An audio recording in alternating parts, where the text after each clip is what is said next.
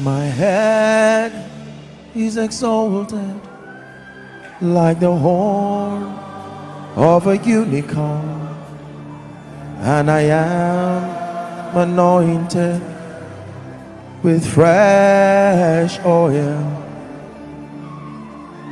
My head you have exalted like the horn of a unicorn.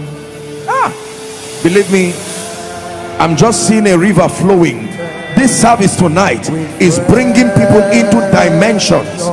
Cubits are being measured in the spirit, and people are being pushed into deeper levels of the anointing.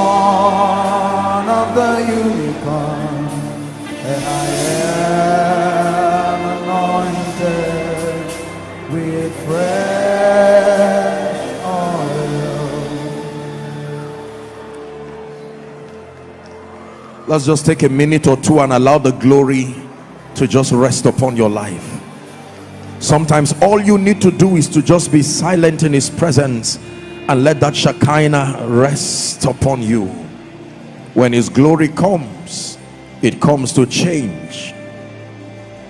It comes to lift. Mm. Just stay in that glory. Let it change you let it build you.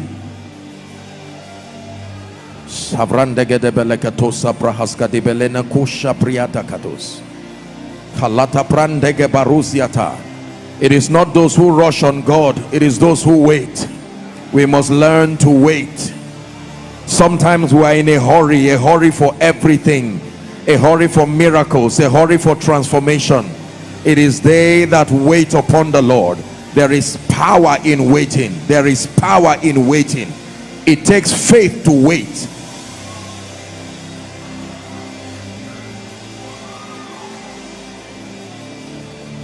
Let him do the work he's doing. Go ahead. For some of you, there is a circumcision happening within your spirit, a cutting away of every limitation and every hindrance. There is that that circumcision. Allow his majesty move upon your life and move upon your destiny.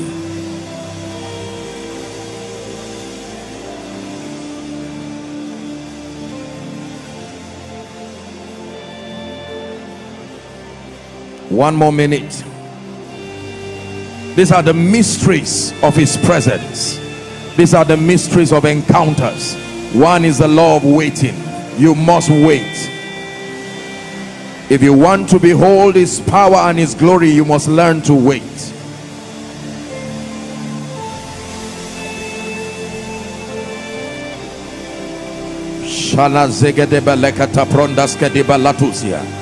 There is healing when we wait. There is restoration when we wait.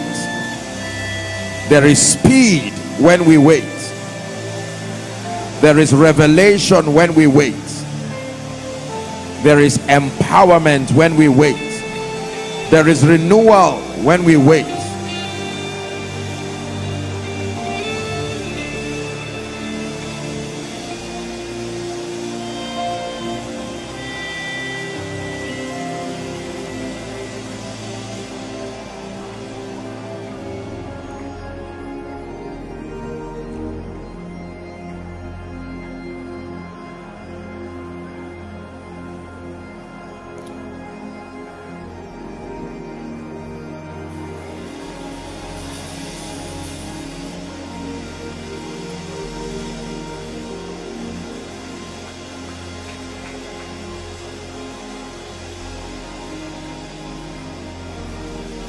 You, Jesus, for your marvelous presence in the midst of your people.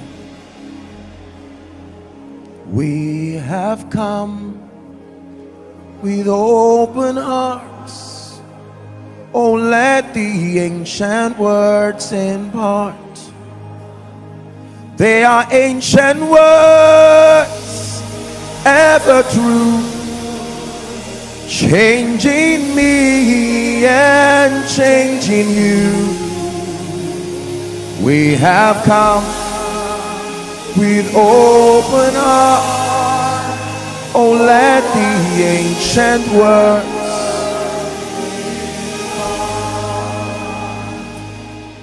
I have come with open hearts. Oh, let the ancient words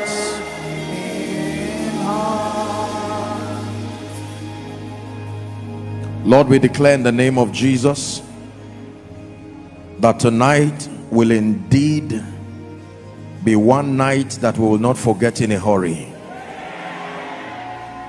We thank you for what you are already doing in our lives.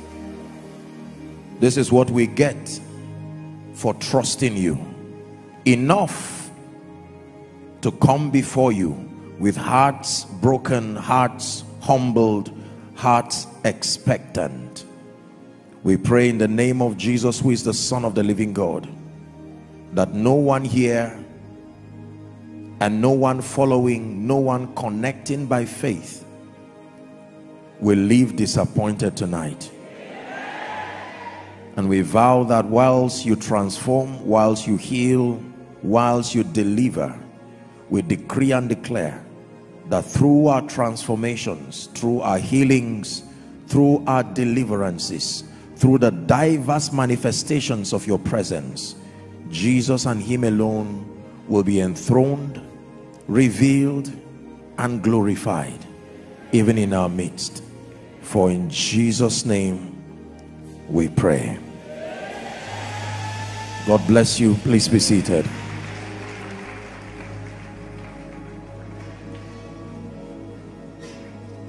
Please be seated. God bless you. It's good to have everyone around. Um, this does not always happen, but let me teach you something. Never frown at moments like this, where God just decides to move in the midst of his people and where you have the opportunity to soak in the glory.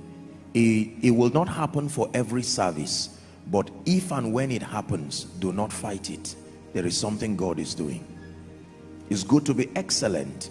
It's good to display a high level of leadership, but you must have the flexibility that when he comes and in whatever manner he comes, you must be able to receive him.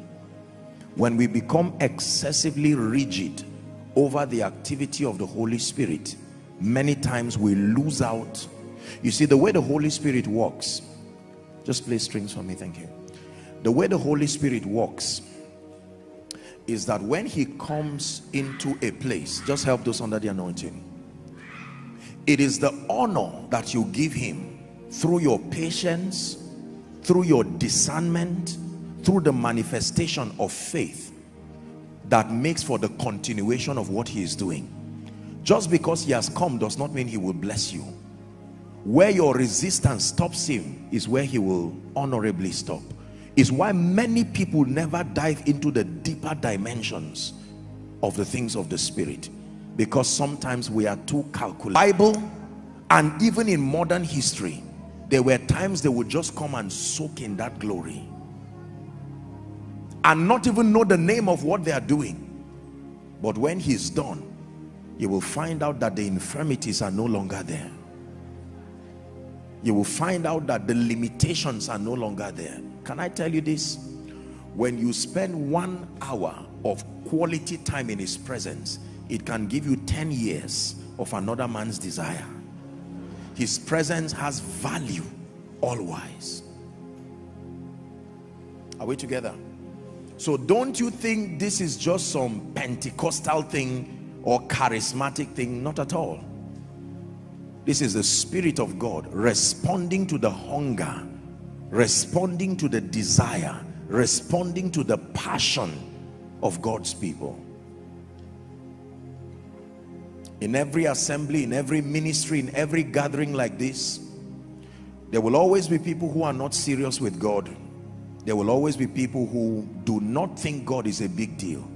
But I can assure you there are always people who come before about the things of the Spirit it is for such people for their sake God will not leave himself without a witness. Are we together? It is impossible to take God seriously and these kinds of moments will not happen in your church in your life in your family. On what you understand your pace will be too slow. There are many times God will walk with you. It's three years later that you will understand what he did three years before it's an act of faith to trust him and go all the way and let your mind catch up. Sometimes we become too scientific and philosophical in our walk with God. We want to understand the details of what God is doing. Except that sometimes his ways are past finding out. You can stretch your intelligence and yet not understand what God is doing. Hallelujah. Praise the name of the Lord I welcome everyone in the name of Jesus who is the son of the living God. And um, I particularly want to appreciate and honor all those who have traveled from outside of this nation. Um, I do this not for the ritual, but just because sometimes um, my, my heart really goes out to the many people who travel from all across the globe, not for a special convention, for the services every week. And um, it takes a lot to travel from across Africa, from across the globe. People come, churches send their delegates, their pastors. We have people come from everywhere it is impossible for you to just decide that you will get up and leave your nation and come to another place when you can pick up your phone and follow you see that? It means that there is something there for you that God is sending you to receive. Is that true? And so I sincerely want to appreciate them. I may not have the time a miracle services next week and usually would take that time to honor them but just just to aside from um, dear men of God that I would, I would appreciate shortly I want to appreciate if you are here uh, whether here in the overflow and you came from outside Nigeria please stand. Just for us to honor you please stand wherever you are. Let's celebrate them. Let's celebrate them. Inside all of the overflows outside god bless you. And those who are connecting from outside of this place we love you. We sincerely appreciate you. In the name of jesus christ. Where are the delegates from canada? Are they here the pastor who came with delegates from canada. Please find out let me know let me be sure that um, okay they are yet to arrive. Okay that's fine. Praise god. I know a pastor and I mean some delegates, a number of them all the way from Canada, you know, ju they just indicated that they were on their way coming just to come and fellowship and to contact this grace. You see, when, when God begins to honor and help you like this, two things very quickly. One, beware of pride. There is absolutely nothing in us outside of the mercy and the help of God. And then number two, you must be able to take the love and the commitment of God's people as a trust that you must not betray you must make sure they do not spend so much resources time energy and then come to your assembly and then you waste their time and share the grace it is very unfair. In fact it is evil. It is my covenant with God that no one no one would ever come for any service regardless what service and then go back the same. No. So thank you so much for making the time to come. May the lord bless you. I pray that your coming will be most profitable for you. You have our blessings and you have our prayers in jesus name amen and amen let me honor and celebrate please be seated thank you let me honor and celebrate two great um, men of god in our midst one is a dear friend and brother reverend dr paul Mbwagbo, all the way from cameroon Thank you. Thank you so much. I love you, sir. It was his church and uh, that hosted me in Cameroon last year. It was such a phenomenal time. Thank you. Thank you so much. And then we have another great, wonderful man of God all the way from Cote d'Ivoire, Reverend Ralph Wafo. Thank you. Thank you so much. The Lord bless you, sir, in the name of Jesus Christ. And for every minister of the gospel here, doesn't matter whether you are in the main auditorium or outside the lord bless you we honor you in jesus name amen and amen father give me an encounter tonight in the name of jesus. Please lift your voice and pray. Give me an encounter even by your spirit. Give me an encounter by your spirit that will change my life forever.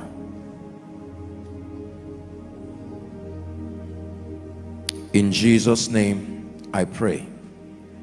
Hallelujah. Commanding the supernatural part two. We're wrapping up a series that we started last week on the supernatural helping believers to understand the necessity for walking in the supernatural and the demands what it takes to command the supernatural. Part one we looked at the dynamics of faith as the first key to releasing the supernatural and then for tonight part two we're going to be looking at engaging the anointing. Please pay attention. Let your spirit be open. I'll be teaching us on the dynamics of the anointing. So we agreed last week that when it has to do with commanding the supernatural it is an interplay between faith and the anointing that there is a role that faith has to play as far as commanding the supernatural is concerned and there is a role that the anointing has to play. Um, for a very long time in the body of Christ it seems as though there's been a great divide and even confusion as to how these spiritual forces operate in producing miracles and the manifestation of the supernatural. On one hand we have people who are in quote faith people and there is nothing else they are interested in. All they know is just faith. The moment faith is in place everything is in place. Then we have especially the charismatics who believe that it is about the anointing. It has nothing to do with faith. Once the power of God is not present doesn't matter what you are speaking doesn't matter what you are saying and for a long time there has been arguments and even misunderstandings across this divide. I think I've said it here and I will repeat it again that the dynamics of faith and even engaging the anointing all of these forces were supposed to work together to produce the supernatural. There is nowhere in the Bible where you are given the liberty to choose whether you want faith or you want the anointing.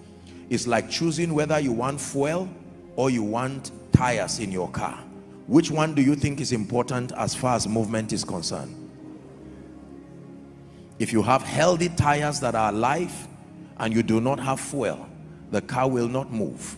But then if you have fuel full tank your gas is your your your your tank is full and your car does not have tires it will not move also. So you can see that they are very very important. And my assignment tonight as we wrap up this series is to open up our eyes to understand the how to engage the anointing.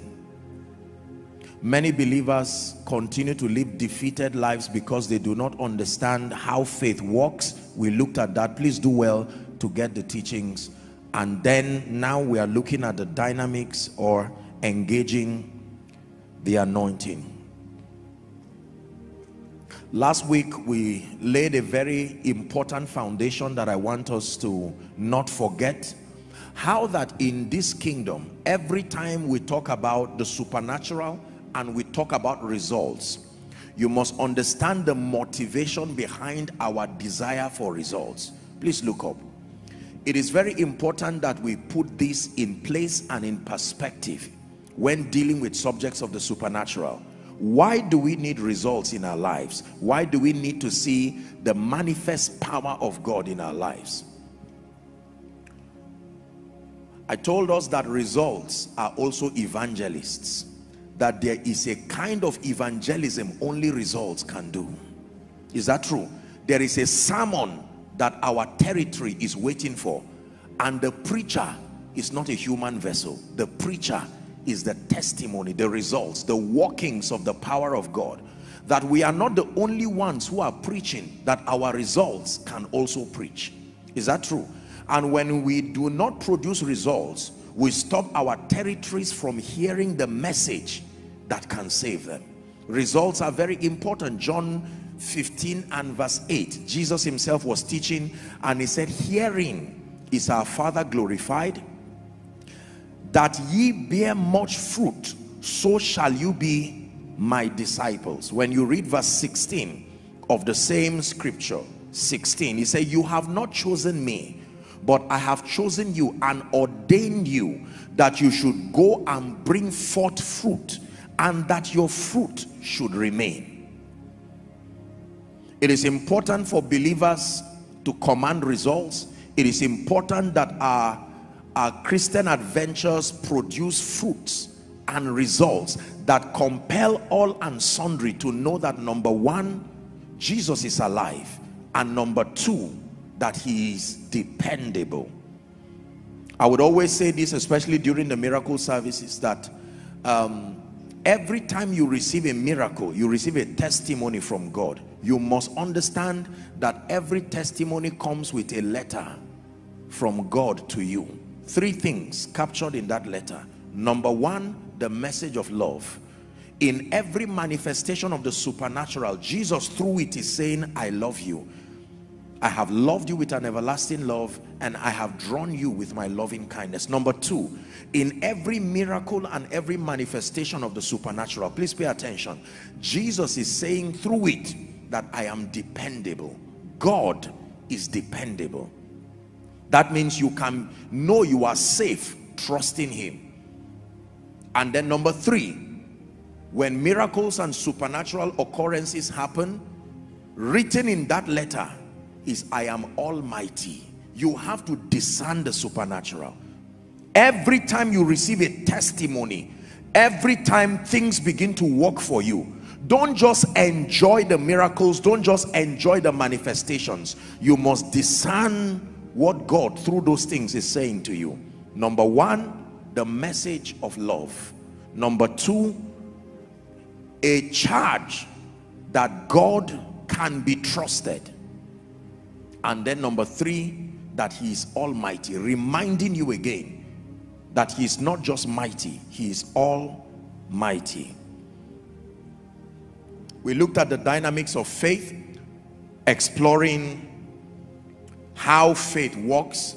I told us that the according to scripture the equation is that it comes by grace and then it is true faith. And we got to examine faith that bible faith is the name given to the action that you take based on your conviction of who God is and the integrity of his word. We did say that bible faith is predicated upon two foundations. Number one the integrity of god that God is dependable. Number two, the ability of God. Please do not forget this. If it is Bible faith you want to manifest, it is predicated upon two factors. One, the integrity of God. That God is not a man that he should lie, nor the son of man that he should repent. Are we together? And then that number two, God has all power. Once have I spoken, twice have you heard that all power belongs to God. Not God and Satan not God and men. It is exclusively that of God. That every time men seem to walk in dominion that their dominion in this kingdom is shared dominion not absolute dominion. We were made partakers. It's not a life that we have on our own. Are we together? And then we discussed a few things that would help us walk in faith so now we'll discuss the anointing. I have, by the privilege of God's grace, I've had the honor of studying and teaching the subject of the power of God and the anointing for many years. And you would think that after teaching this for so many years, I would have exhausted everything to be known about the anointing. And that is not true. One of the ways you know that something comes from God is that that that uh, that inability to exhaust the riches in it that is in God will also follow his thoughts and whatever it is that is of God. You can never truly exhaust everything about the anointing, about faith. It is layer after layer. When you are done with one layer, God will honor you by unveiling another layer of that spiritual reality. We need the anointing, especially the times that we live in. Psalm 92 and verse 10. Psalm 92 and verse 10. Let's begin our teaching now. Please pay attention and then like we are already experiencing, please be sensitive because every time you teach on the anointing, the Spirit of the living God has the assignment to bring confirmation to the things that are being taught so it is not unusual i know you know that by now when there are manifestations of the spirit while the word is coming you just focus on the word and make sure that you have understanding. 92 verse 10 can we read together? One to read. But my horn shall thou exalt like the horn of a unicorn and i shall be anointed with fresh oil. I shall be anointed with fresh oil. The Bible tells us to look up to Jesus. So theologically speaking, Jesus is our pattern man. He represents perfect theology. That means Jesus was approved of God to be the reference. Every believer who wants to attain unto stature and growth in the spirit, the Bible mandates that you look primarily, you look unto Jesus the author and the finisher of our faith you understudy his life and the way that he lived and you can glean wisdom and follow that spiritual pathway to a life of excellence and a life of glory. The bible talks about jesus who although was the word he came as the word incarnate through the womb of a young virgin called mary.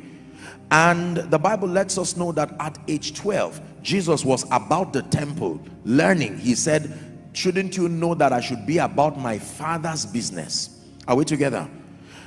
By the time he's 30 we see Jesus coming to Jordan to be baptized of John who was a prophet. We call him the Baptist. John baptizes Jesus and he comes out of the water and the Bible says the heavens were opened and he saw the Holy Spirit descending on Jesus in the similitude of a dove and a voice spoke from heaven and said this is my beloved son. Are we bible students? In whom i am well pleased. He said hear ye him. Then as we'll be reading later on the bible says the spirit of god immediately drove him to the wilderness to be tempted of the devil. He was there fasting and praying 40 days and 40 nights and having you know triumph over the temptations of satan. The bible records that he returned in the power of the spirit and there began the ministry of signs and wonders the ministry of the supernatural that would not end culminated even in his resurrection and his exaltation at the right hand of the father. So he became for us a template and a pattern man to study the dynamics of walking in the anointing. What is the anointing? We talk a lot about the anointing. Preachers want to be anointed. Business people want to be anointed career people want to be anointed. There is such an obsession for the anointing and there's nothing wrong with that. We need to be anointed. It is my considered opinion that the anointing oil serves more for impartation than even cooking in africa. I think so. I may be wrong but i think so. That chances are excellent that if you see someone buying an anointing oil it, it hardly will be for the kitchen that's to tell you how much we believe in the anointing. It's not mockery. Are you getting what i'm saying now? I'm just showing you how determined we are to make sure the anointing is within our reach. But it seems as though regardless all the oil that we have in our bottles and the ones we have through different mediums and right now sadly in africa we've invented a lot of things largely extra biblical um, strategies to bring the anointing but it's, it's a sincere desire from for for for God's people from God's people to bring the anointing within their reach somehow we have read through scripture and we have seen through the lives of a few people who seem to have been marvelously anointed by God. We have seen the possibilities that have come from their lives, be it in ministry, be it in business. When you see a man of God who is doing something very extraordinary and very supernatural. You most likely will say that man is heavily anointed. You may not say that man is full of faith. Subconsciously we have connected the anointing to supernatural extraordinary manifestations. Is that true? Yeah. Manifestations like healings deliverances you know impartations of the spirit supernatural prosperity, influence, anything that moves above and beyond the scope of science and may not seem through to go through the normal law of process or the course of nature. Usually it attracts us and we credit that manifestation to the presence of the anointing. What then is the anointing? The anointing um, the, the, the whole essence, please look up. I've taught it here and let me just repeat it for the sake of this series. The idea of being anointed from ancient times, the context is to be smeared with oil, but, but the, the idea of being anointed is to legitimize an operation. So when we say an individual is anointed, what we mean is that you have been authorized to be anointed means to be authorized to do whatever you are doing. To be anointed means to be empowered to do whatever it is you are doing. Are we together? To anoint means to legitimize an operation so that both the earth and the realm of the spirit no longer considers you to do it illegally. So when the Bible talks about being anointed, it is an ordination. That really is the essence of ordination to legitimize an operation. Are we together now? So um, in its purest form the anointing has nothing to do with oil. You see most times and, and now sadly when believers don't have the requisite spiritual knowledge and we get them into all these rituals of oil and the rest it turns into it almost becomes witchcraft sometimes all of those mediums only find their credence if and when the believer has an understanding of what he is doing. To be anointed has nothing to do with oil necessarily. To be anointed has nothing to do with a handkerchief a mantle some medium. I'm not saying those things are wrong but the essence of being anointed is to empower you to do or to become and then to legitimize your operation are we together? What is the anointing? The anointing is God's ability. Please write it down. You have to know the owner of that ability. It matters to know that the ability belongs to God. The anointing is not just ability. The anointing is God's ability because there are many other kinds of abilities routed through. There are there are abilities that seem to come from demons and come from wherever but god's ability at work in a human or material vessel please write it down. The anointing is god's ability at work in a human or material vessel to accomplish his purposes and to produce extraordinary results. I'll take it again. The anointing is god's ability at work in a human or material vessel to accomplish his purposes and to produce extraordinary results. So the ability belongs to god even whilst we take advantage of that ability God's ability at work in a human vessel or any material vessel and then the intent the goal of that anointing is to empower and to help that individual to accomplish God's purposes and then to produce extraordinary results. A very fair definition of the anointing so immediately that tells you that that empowerment that legitimization comes from God and belongs to him.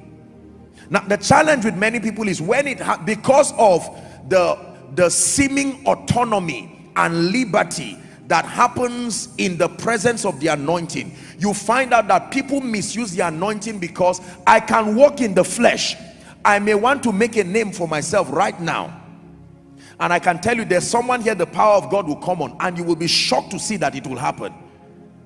But you will have to vet it from the lens of God's desire to know whether he was the one who directed that or it was just flesh. Are you seeing that now? Just because it happened did not necessarily mean it accomplished the purposes of God. This is where the abuse of the anointing comes. When I become a recipient of the anointing it is within my power to misuse it. Are we together? And many sadly have misused the anointing. For the gratification of the flesh many have misused the anointing for financial gains. Many have misused the anointing for all kinds of reasons.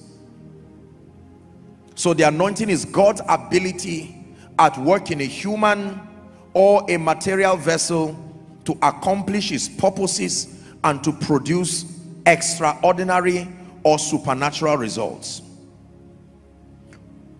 I don't need to go into the subject of results. We already settled that last week.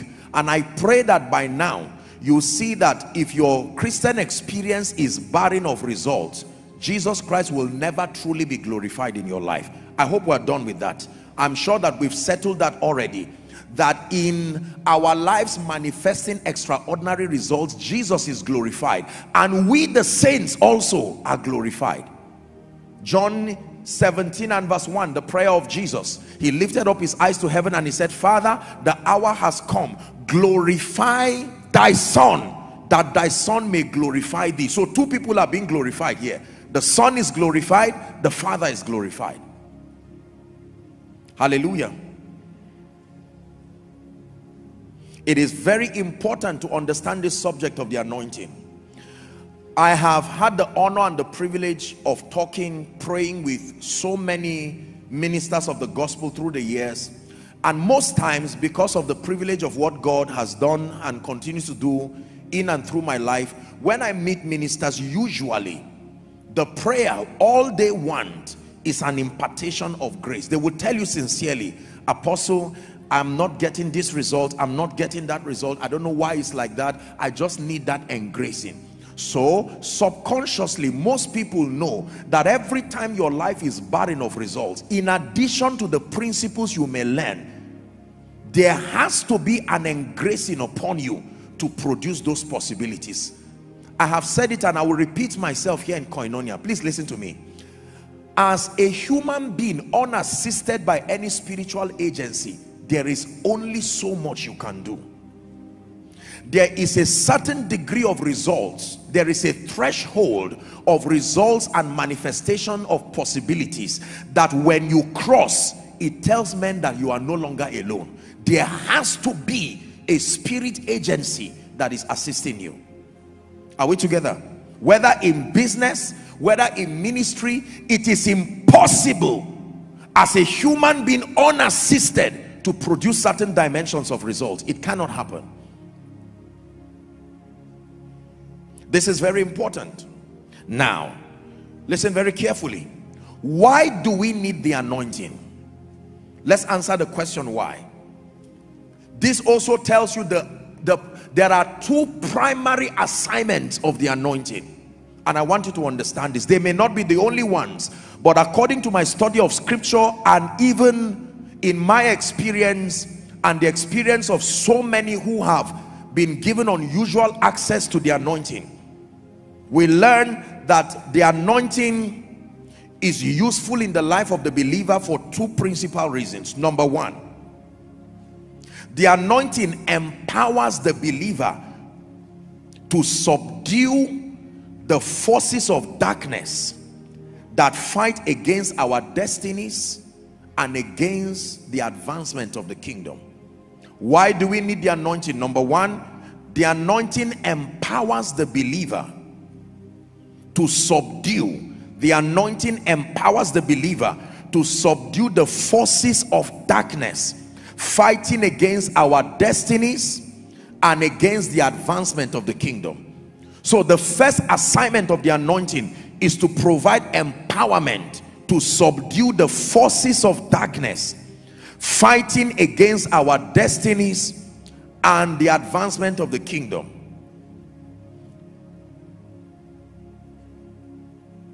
Is Satan fighting your destiny and my destiny? Absolutely. How long? For as long as you will be alive. Are we together? Psalm 66 and verse 3, it has become an anthem in this ministry. Say unto God, how terrible art thou in your ways. It says, through the greatness of thy power shall thy enemies submit themselves unto you. Is God's servant Bishop David Oyedepo who would say that the only language Satan understands is the language of power and he's right Satan does not understand English, does not understand French. Satan does not understand negotiation. The only thing he understands is power. Ask Egypt, um, Israel in Egypt. Nine plagues and Satan through Pharaoh would not let them go. But one last plague and it compelled him to let them go. So the anointing addresses Satan. Now it's very, very important for you to understand this. You see, Satan is spirit. Satan is not flesh. It is not only God who is spirit alone. Satan is also spirit. Do you know what that means? You cannot arrest him. Number two, you can't take him to a court. Number three, the military cannot help you fight him. Number four, you cannot set him on fire. All the things you do to men to find peace, you cannot do with him. Satan is spirit. The angels, the fallen angels and all the demons and the cohorts of hell, they are spirits. Even though their damage is not spiritual alone. Their damage starts from the realm of the spirit, but it has a physical expression in your life when the devil plants sickness in your body it can start from a dream but it will not end at a dream it will manifest physically and you will see the injury you will see the pain when satan programs disfavor upon a believer it can start from the realm of the spirit but you will shockingly see it manifest physically. Are we together? So it takes the anointing to be able to subdue the forces of darkness. Let me tell you this. Do you know every time you stand before God's people please look up to make an altar call I want you to know that we are not the only ones who are seeing you angels are witnesses to that salvation that prayer demons are also witnesses from the day you declare the lordship of Jesus Christ an intentional line has been drawn between you and Satan for the rest of your life whether you are alive except you die but provided you are alive, Satan is interested in you. Apostle, who did I offend? That's not the issue. When you were saying, Jesus, I love you, you are a potential threat to the kingdom of darkness. Satan does not give you a chance to grow before he attacks you. He knows what the life of God is and he knows what you received, even though you don't know it. You may, you may trivialize what you received, but Satan understands the implication of being saved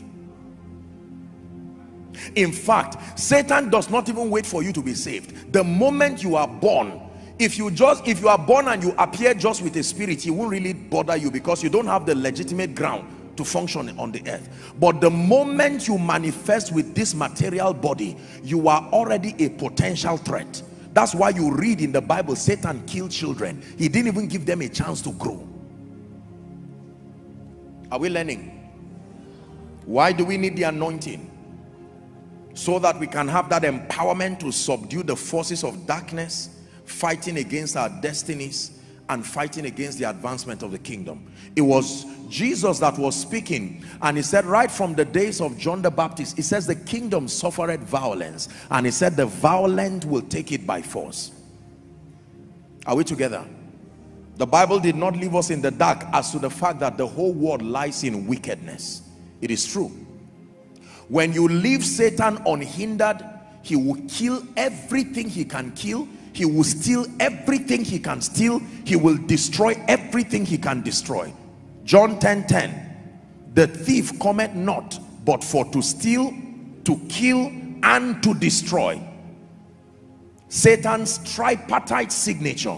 The moment if you are unsure who is around verify it with these tripartite activities. If Satan comes he will never leave you the way he met you. He must steal something if Satan comes and passes you and you are alone except God helped you or intercession saved you or it's not him. But if it is Satan you know there are people called pick there are these boys that are experts in stealing. They can lift their hands and still steal. Praise God. They can pass you with their hands lifted and yet something will still be missing. And it's not diabolism. How they praise the name of the Lord so Satan is like that. He can pass through your finances. He can pass through your marriage. He can pass through the life of your children. He can pass through your spiritual life. He can pass through your destiny. He can pass through a church. He can pass through a ministry. He can pass through the life of a man of God. You know it is him because something must be stolen. Something must seem to die. Something must seem to be destroyed. Someone shout no way shout it again. Say no way.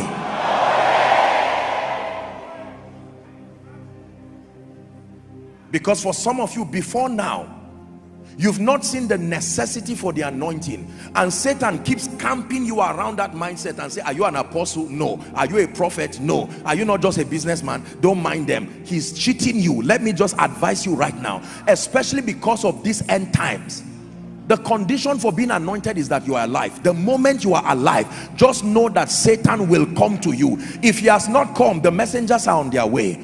But through the greatness of thy power shall thy enemies submit themselves. Let me prophesy to someone that any force that has refused to let you go in the name of jesus and by the power that raised christ from the dead it must give up on you finally. Please sit down hear me. Your business will not just grow. Uh -uh. your children will not just be responsible people. The ministry will not just grow. Your political career will not just flourish. There is a devil who is determined to make sure everything God in your life dies. Are we together? It will tear your relationship between you and your wife tear your relationship between you and your children. Destroy your finances until he reduces you to ashes. Mess up your ministry until you become a testimony of pain and shame. Satan for you. When he does it you will sign it. Like Julius Berger will build and write signed.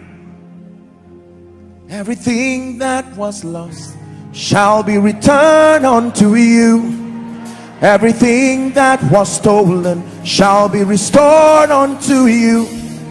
Everything that was lost shall be returned unto me. Everything that was stolen. What makes you believe Satan will fold his arms and watch you promoted? You think he does not know what your influence will do to the kingdom? Man of God what makes you believe that Satan will sit down and allow you to continue to be a rising voice you think he does not know what your voice will do to your territory hmm. Oh, Zechariah and Elizabeth, it's not about barrenness, it's about John who will anoint Jesus. There are many battles today that many of you are fighting that has nothing to do with you. It is because of something that will come out from you. Listen, when you see Satan fighting your family, what is what is finance? Does he eat naira and kobo and dollars? He knows that with that empowerment you will send your son to a mission school and in that mission school one day a prophet or apostle will visit that school he will have an encounter and he will find his purpose and become a mighty man of God. So he will make sure that school fees never enters your hand. Help that woman please.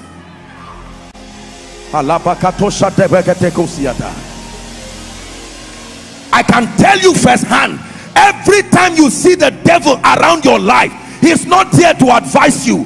He's not there to counsel you. He's there to steal to kill and to destroy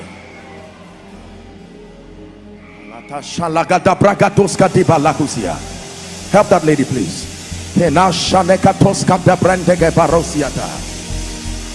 Listen. Can i be honest with you? I have seen many demon spirits in my life. I'm not telling you what i just read in scripture. If you ever see men excelling in spite of Satan something is keeping him.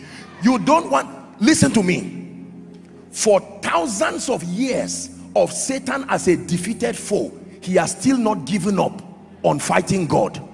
You have to understand the person you are dealing with. You will think after the millions of years of his rebellion he should just give up one day. Satan is as determined today as he was when he left heaven. What kind of a creature is that?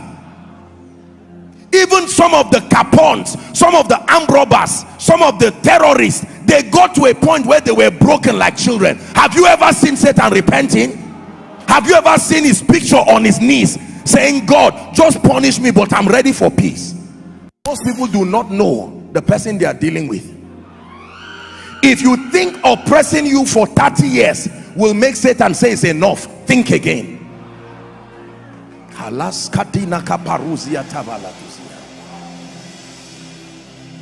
apostle he has tied down my ministry for five years. One day go better. Satan go and read your bible. A man who was thrown from heaven and after millions of years he is still determined to thwart the purposes of god. Is there is anything to learn from satan is determination. Can i tell you you were born in the middle of an old story that has nothing to do with you but simply because you found yourself in that space called the earth you better find out the rules of engagement. Otherwise you will find out that your life will become a casualty that you know nothing about.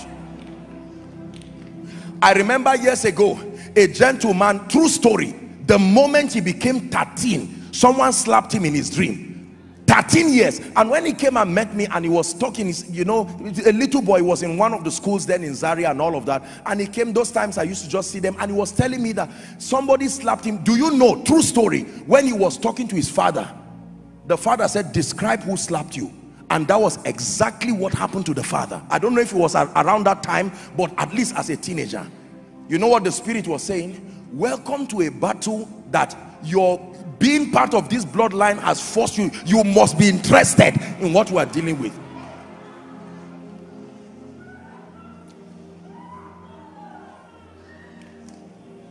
Are we together? Why do we need the anointing? Because there is a real devil. There are real spirits. Mother the devil will not fold his arms and watch your five, ten, eight children rise up to become responsible people. No, his joy is to steal, to kill, and to destroy. You would think if you start crying once, Satan will pity you. Find out who he is. There are people crying in hell. If he's to pity anybody, he will start with them, not you. I don't know about you, but for me, I've made up my mind as a covenant with God I have no negotiation with Satan. There are no discussions. Every time me and him meet, he already knows.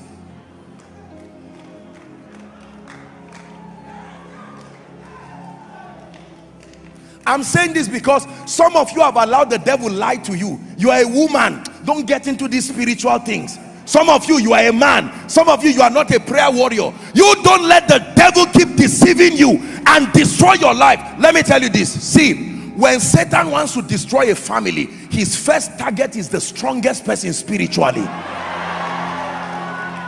I'm giving you spiritual intelligence. He is not stupid. He will afflict with sickness. He will afflict with pain. He will afflict with frustration. So that when you go down spiritually that hindrance has cleared the way. He will now settle down and attack. Someone blast in the spirit in one minute. Not my destiny in the name of Jesus. Help those under the anointing.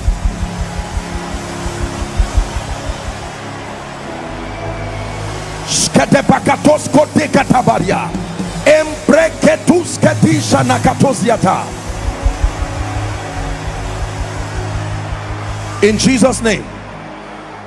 Please sit down. Let me tell you something. Please listen to me listen to me. Listen to me. I will not go ahead of myself. There is a separate series on deliverance. That one will announce it and I will settle down and teach you. But can I tell you this? I don't mean to scare you but Africa listen to me. If you are a firstborn listen to me. If you are a first male listen to me. If you are a last child listen to me if you are a breadwinner listen to me. If you are the one who lifts up the head of your family listen to me. Satan he attacks but there is a protocol to the attack. So much ignorance in the body of christ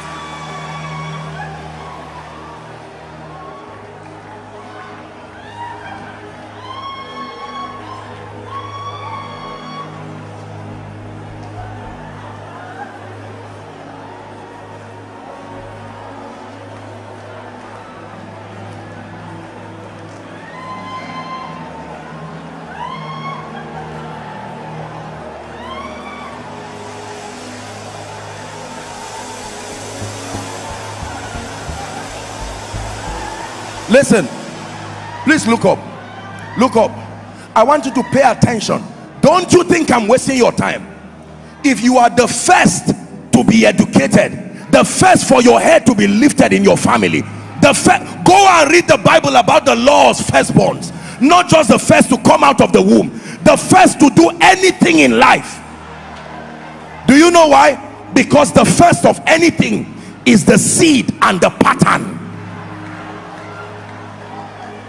first to open a door for a family is the first to create the pattern the first to break out of poverty. You think the devil will fold his arms and watch you?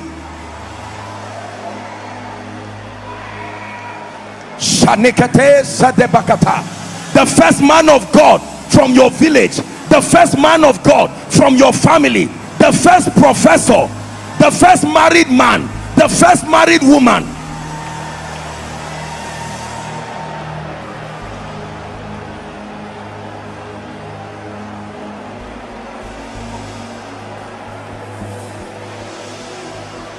praise god. Please sit down. Let me try to organize myself this night. Just help those under the anointing. I tell you god is doing many things as i'm speaking. You came to church. This is going on here no waste of your time at all.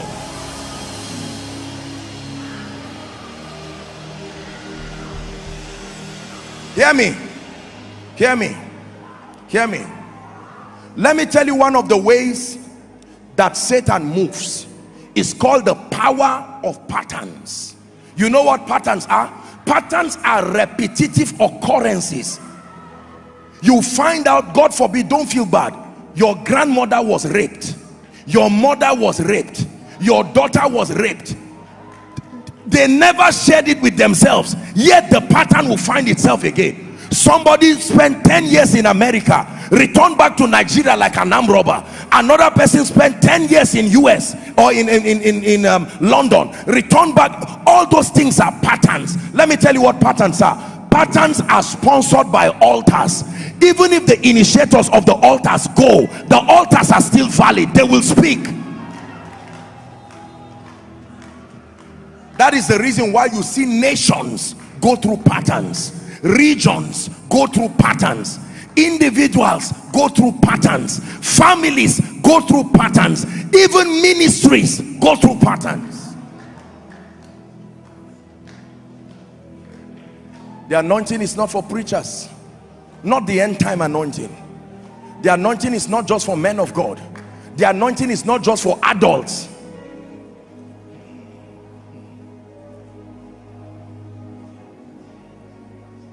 help that person please. I have seen wickedness in the lives of people.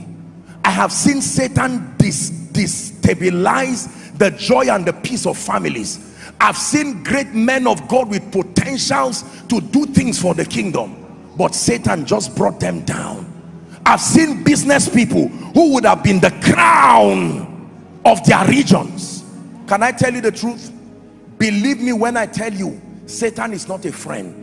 Learn from his rebellion and his unbendedness. Satan has never told God sorry. He will never tell man sorry. Just believe that about him. So when Satan comes around your life and acts like a friend beware of what you are playing with. You are not just playing with fire.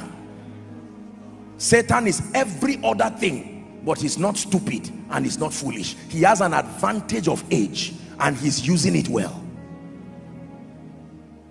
Please sit down. Why do we need the anointing?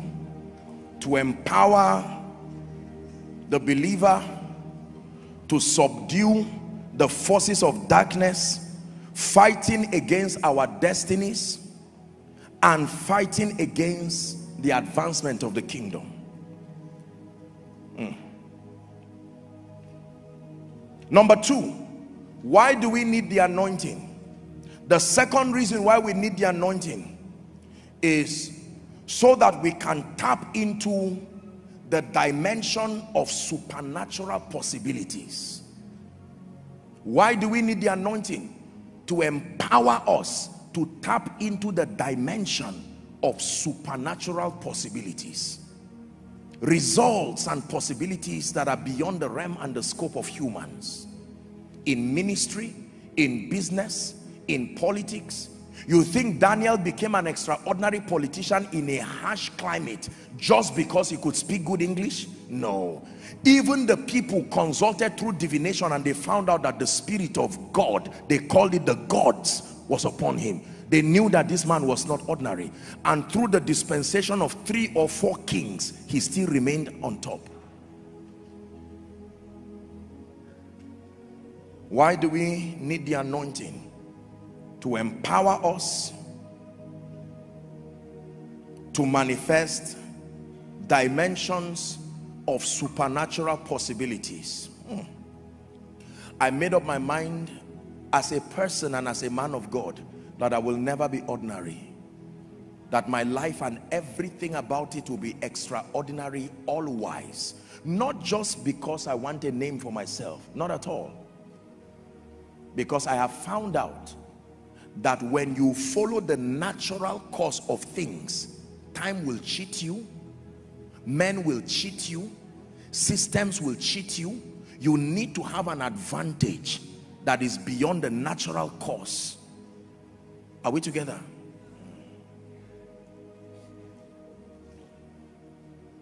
It's good to follow the laws of prosperity i have taught you. But following only the natural laws of prosperity save Johnny, you will see when god will bless you or you will see when you'll be empowered in this wicked and evil world. When you are one law to break through an evil man will reverse you back to start again more than compliance with the laws they are there and they are important i've taught you. But there has to be an engracing that can pick you on the wings of the spirit. Remember that the unit of destiny is time. That's why god brought possibilities like speed like restoration. These are forces that insist and ensure that you live a victorious life. Are we learning now in acts chapter 7 and verse 22 let's look at two scriptures very quickly acts chapter 7 and verse 22 media please help us the bible says and moses was learned in all the wisdom of the Egyptians and was mighty in words and in deeds. Look at such a man. Do you know what that meant? Even though he was not an Egyptian, he did not have the history. There was a supernatural engracing upon him. He learned the wisdom of the Egyptians. He was mighty both in words and in deed they were preparing Moses already the level of excellence from his life he was inevitably going to be the next Pharaoh that's why when he returned you see as at the time Moses returned back to Egypt the Pharaoh he left had died it was his son Ramesses who was his friend that was why when Moses looked at him and said Pharaoh I'm sure Ramesses will look at him and say, dear brother, good to see you after over 40 years.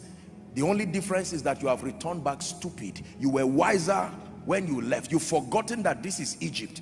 You come and stand looking like a fugitive with a staff and tell me some deity you met in the forest said I should come and release these people who have been in captivity for 430 years.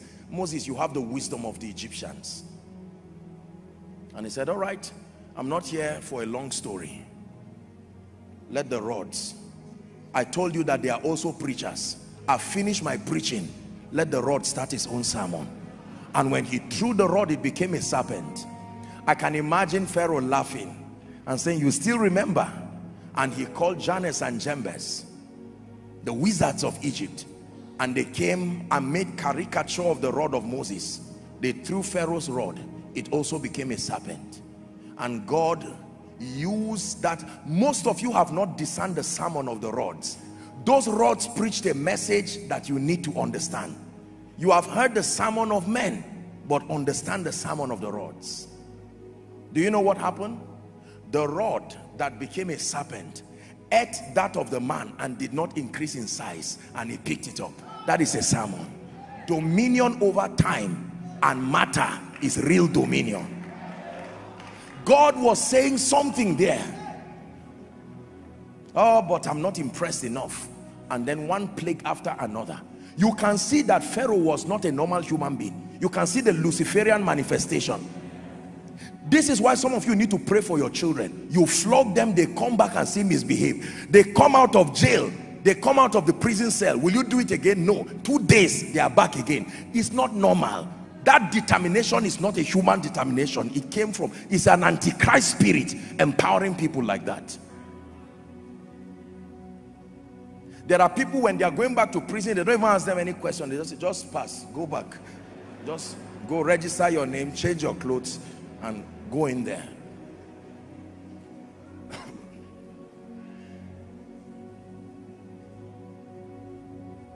Can i tell you this? Creation is awaiting the manifestation of the sons of God. The sons of God are not here to repeat science. Science is an advantage but believe me God didn't take us this far to just come and be scientific. I, I, I guarantee you it doesn't take fasting to be scientific.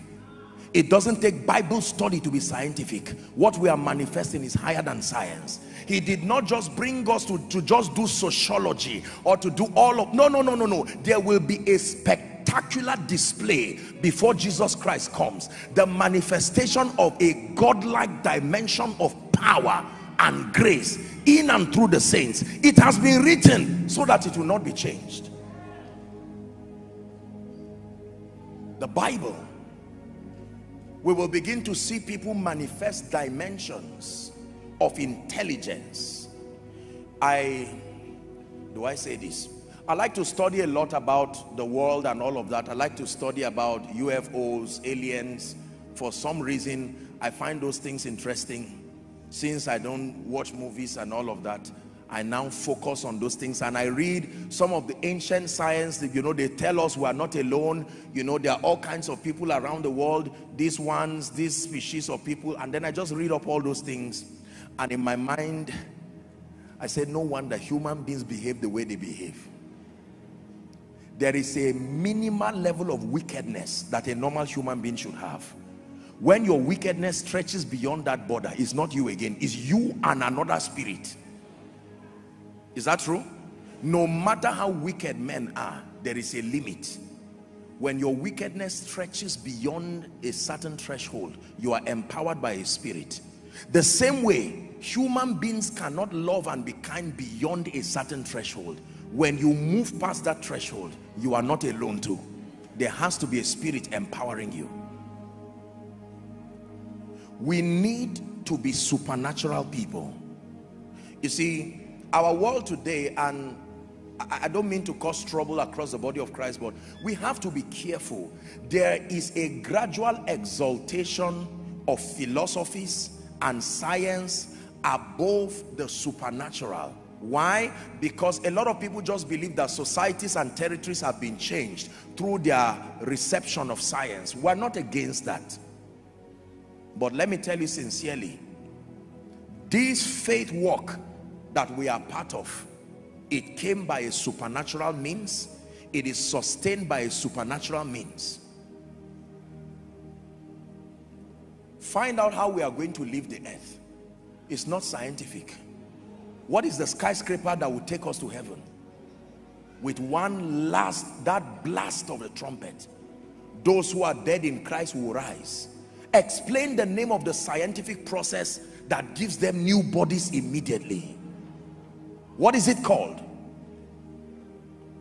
Explain the name of the scientific process that suddenly withdraws gravity. And we who are alive and shouting the name of Jesus will be on our way going. And those who are laughing at us will wave them and say I told you I gave you a chance. Explain the name of that scientific process. Am I against science? Not at all. But let us be careful because the flesh realm including science is Satan's domain. He does not want you to rise or see reality beyond the three-dimensional plane. Because provided you are under the influence of the three-dimensional realm you are in Satan's domain. He can manipulate systems and structures. He can play around with your mind and destroy your destiny. But when you rise to that realm and that plane your life becomes extraordinary. We have so many doctors in this ministry. There are many professionals. It is not unusual that if someone is sick the natural course is to administer a treatment and that is wonderful. But what if the doctor is not there and that person may not have the chance to see the doctor? Is there a possibility of administering something powerful who taught the doctor that you can stand before a tree and pick a leaf and process it in a lab and it becomes an injection and you put it in someone? Even the doctors depend on the supernatural for treatment. The injection does not get to your heart. When they put that injection wherever it enters your body they leave the rest. Do you not know that every other thing that happens is a miracle? I read a bit about the human body and I'm surprised at the many activities that happen in the human body. Do you know when a human being is sleeping science tells us and medicine tells us do you know how many activities in your body shut down just because you are sleeping? That means if as you are awake looking at me now you may think it's just your heart and maybe your brain that is working. Think again. If you know the the it's almost like a riot in your body. All the things the cells working if you don't understand they repeat it again this body is as busy as anything. And yet there is an invisible hand that keeps it.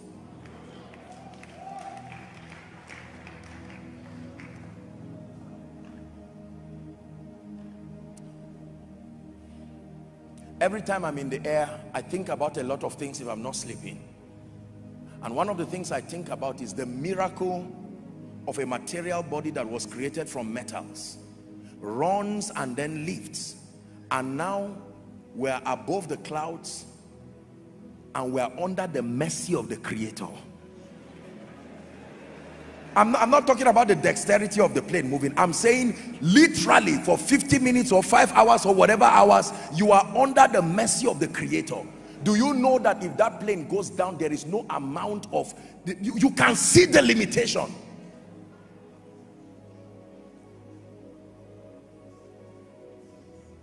flying helps me to know where science ends.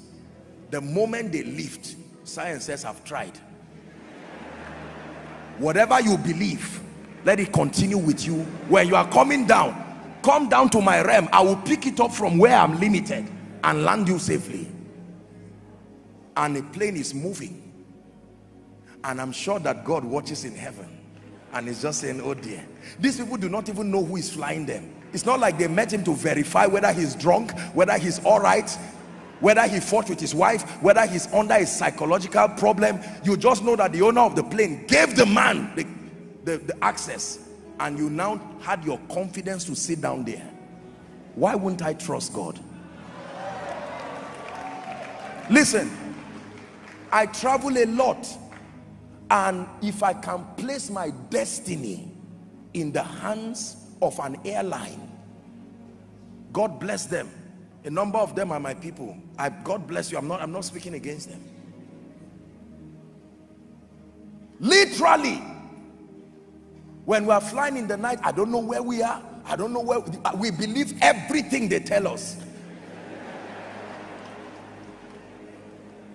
And yet, these are human beings that can make mistakes. Nobody ever says, verify that we are, we are, you know. How are you sure we are safe?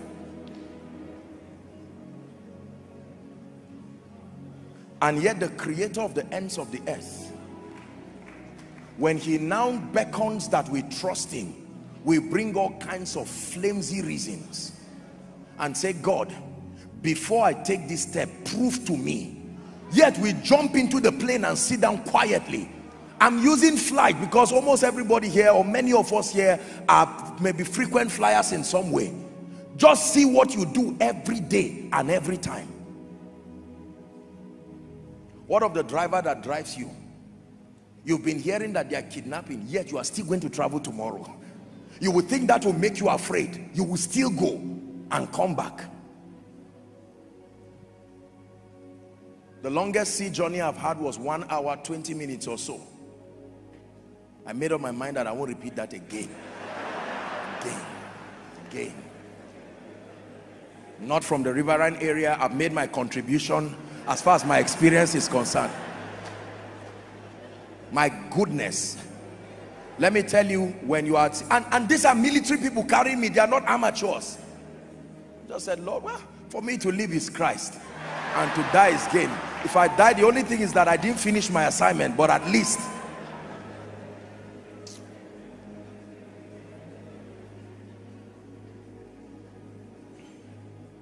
are we blessed we need to tap into supernatural dimensions of the power of god.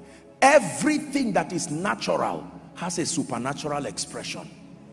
I repeat everything that is natural has a supernatural expression. When you go to the market and you meet a trader you say i want to buy a wrapper. They will ask you original or um, what's the other, uh, original or maybe imitation depending on whatever money you have. There is one that looks like it but it's not it. There is one that is really it. Everything that is natural is like that imitation. There is an original. The bible says everything that appears hebrews chapter 11 from verse 1 and 3 that it came from a realm that is unseen. Hear me. There is a natural cause of prosperity but there is supernatural prosperity there is a natural medical cause of healing but there is supernatural healing. There is a natural cause for growth but there is supernatural growth. The choice is yours. They both have their consequences. If you choose to live a natural life there are many many many things that you will be limited. You will not be able to do many things. But you can choose to command the supernatural even in your life. Are we blessed so the supernatural grants you empowerment to subdue the forces fighting against your destiny and against kingdom advance. And then it empowers you to rise to a dimension where you command supernatural possibilities. Luke chapter 1 from verse 30 to 36 Luke chapter 1 very quickly please. Luke chapter 1 from verse 30 to 36 need to run through a few things very quickly so we'll pray. Luke chapter 1 from verse 30 now this is Mary. And the angel said unto her Mary now fear not Mary for thou hast found favor with God. And behold thou shalt conceive in thy womb and bring forth a son and shall call his name Jesus. We're reading to 36 he shall be great and shall be called the son of the highest and the Lord God shall give unto him the throne of his father David. He shall reign over the house of Jacob forever and of his kingdom there shall be no end. Now Mary said to the angel how shall these things be seeing I know not a man? You know what Mary is saying? Mary is saying listen I it would have been believable if there is a process a natural cause of how things should be from a biological angle. But there is a deficiency here. How will it happen? Because I didn't hear you mention a man. It is possible that God will speak to you and the natural formula for that result he will not mention it. Don't forget that it is God who is speaking. Are we together? Yes. The natural cause was to wait for the angel to steer the water and whoever jumps in first. But when Jesus came Jesus would have said I empower you with wisdom and the prophetic to know when an angel is going to come so that you will jump before the rest. Jesus said listen I don't negate the rule but I can change it because I am God. Ah.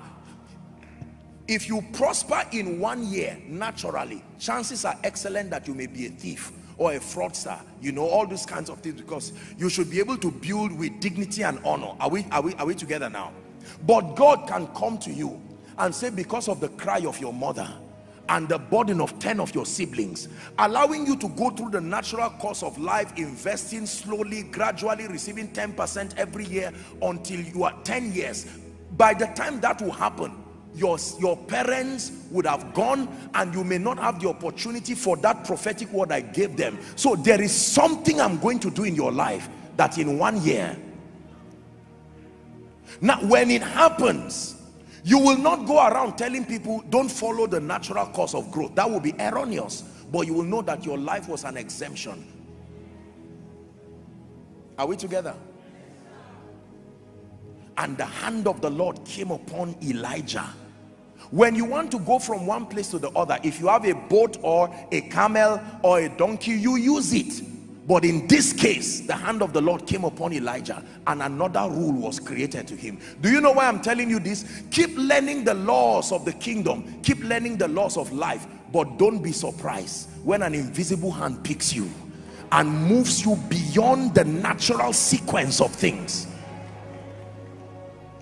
I believe this I believe in diligence. I will always teach diligence. Are we together? But, like I would always share, there are times that your boat is fine. There are times your fishing net is fine. Oh, Peter. There are times you are in the sea, but you will still not catch fish. That is not an issue of laziness. The fish didn't come. It's no longer your fault. At that point, you don't need skills again. You need the one who created the fish to gravitate them towards you and say cast your net to its right side. And in a moment you will catch fish that your boat will begin to sink.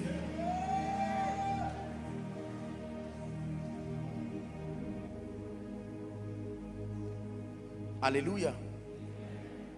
It is natural for you to start a business and then look for customers build a clientele gradually through integrity trustworthiness and after five years you would have gained experience made your mistakes failed cried prayed on God sown seeds and then you stabilize.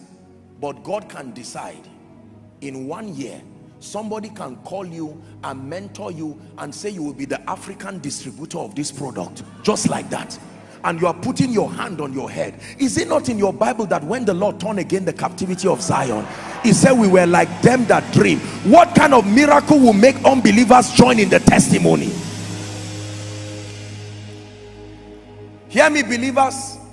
Let us maintain the natural course of things based on the laws of life. I am not teaching you to ignore the laws of life but woe betides anybody who laughs at the possibility of a dimension higher than science higher than sociology. This is my problem with intelligent people and secular humanists. They negate the fact that there is a God in heaven and there is a possibility to tap into that infinite power. Go to the village and they will tell you there is a natural cause there is a way you can plant crops and everything will grow. But there is a way you can have an accelerated harvest. Do you want it? When you say yes they will not say go and stand in the farm. They will say go and meet a man. There is something he will give you. There is the natural course of politics. You can vote you can campaign you can talk to people they can help you you can grow you can build. But there we have seen it in this nation where God picked people. You know this one it was God that lifted them hallelujah. I heard of somebody true story who bought a property. It was worth some millions of naira. This guy brought a, pro a property. It was not up to two weeks.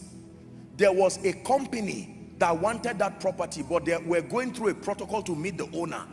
And quickly some money came for that guy and he bought that property from the former owner and they suddenly called him that there is a company that want to buy it. It was almost 10 times the amount. This boy stood in shock. They were desperate for that land. The owner that sold it to him wanted to make trouble and say return. He said no no no. We finish our transaction. This is between me and these people. I, I mean it. I'm not exaggerating if i'm joking i'll tell you i'm joking. That was how this guy's life changed overnight. Many people suspected him of fraud. He said i'm not i'm not a fraudster it was just the favor of god. Now the balance in church is that because of teachings like this many believers become irresponsible. You see that? They negate the natural course of things and they say since there is favor since there is speed why should i be diligent? Why should i build on relationships? I'm not teaching you to ignore these laws but i'm teaching you that in addition let it be at the back of your mind you can produce posters as a man of god. You can produce handbills billboards. You can invite people do evangelism. But you know like i know that there is a limit. You can do the best that you can do. And someone can just frown and say pastors who eat people's money? Wicked people. That's the comment they will give. But there is a grace that can come upon you and can compel all and sundry to come and see what Jesus is doing this one is not charm this one is not um, whatever it is it is the hand of God Find out what was on Jesus that made 5,000 people to climb a mountain with him and stay there. Must I climb a mountain to hear him?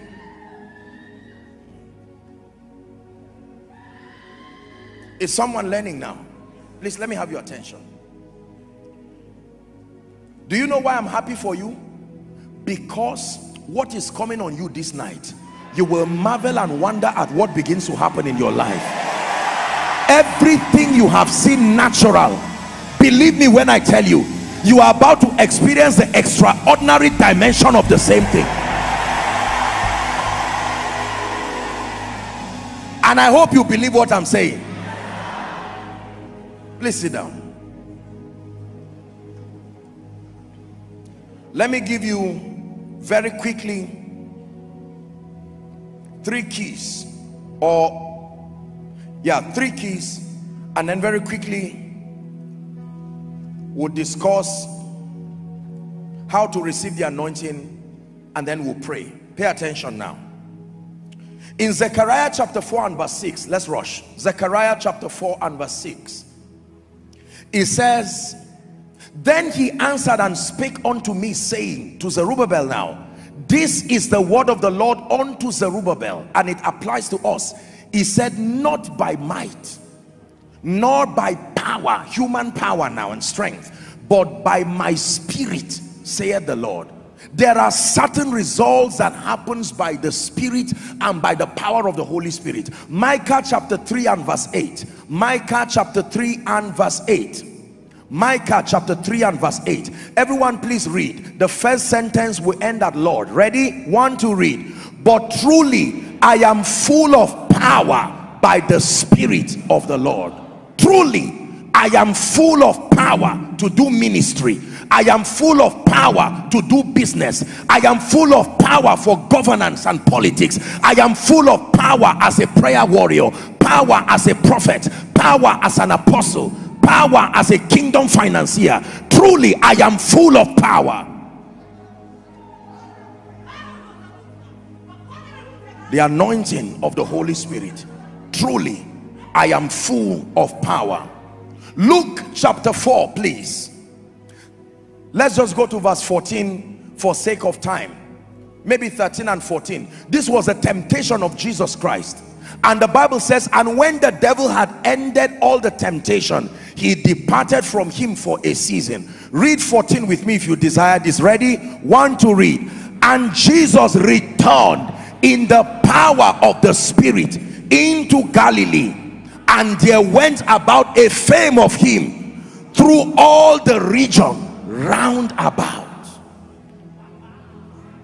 It takes power to gain visibility you can be sincere you can have a message but it takes power for your generation to hear you. Many of us it is this empowerment part. Remember i've taught you that the greatest need of an unsaved person the greatest need of an unbeliever is what? Salvation.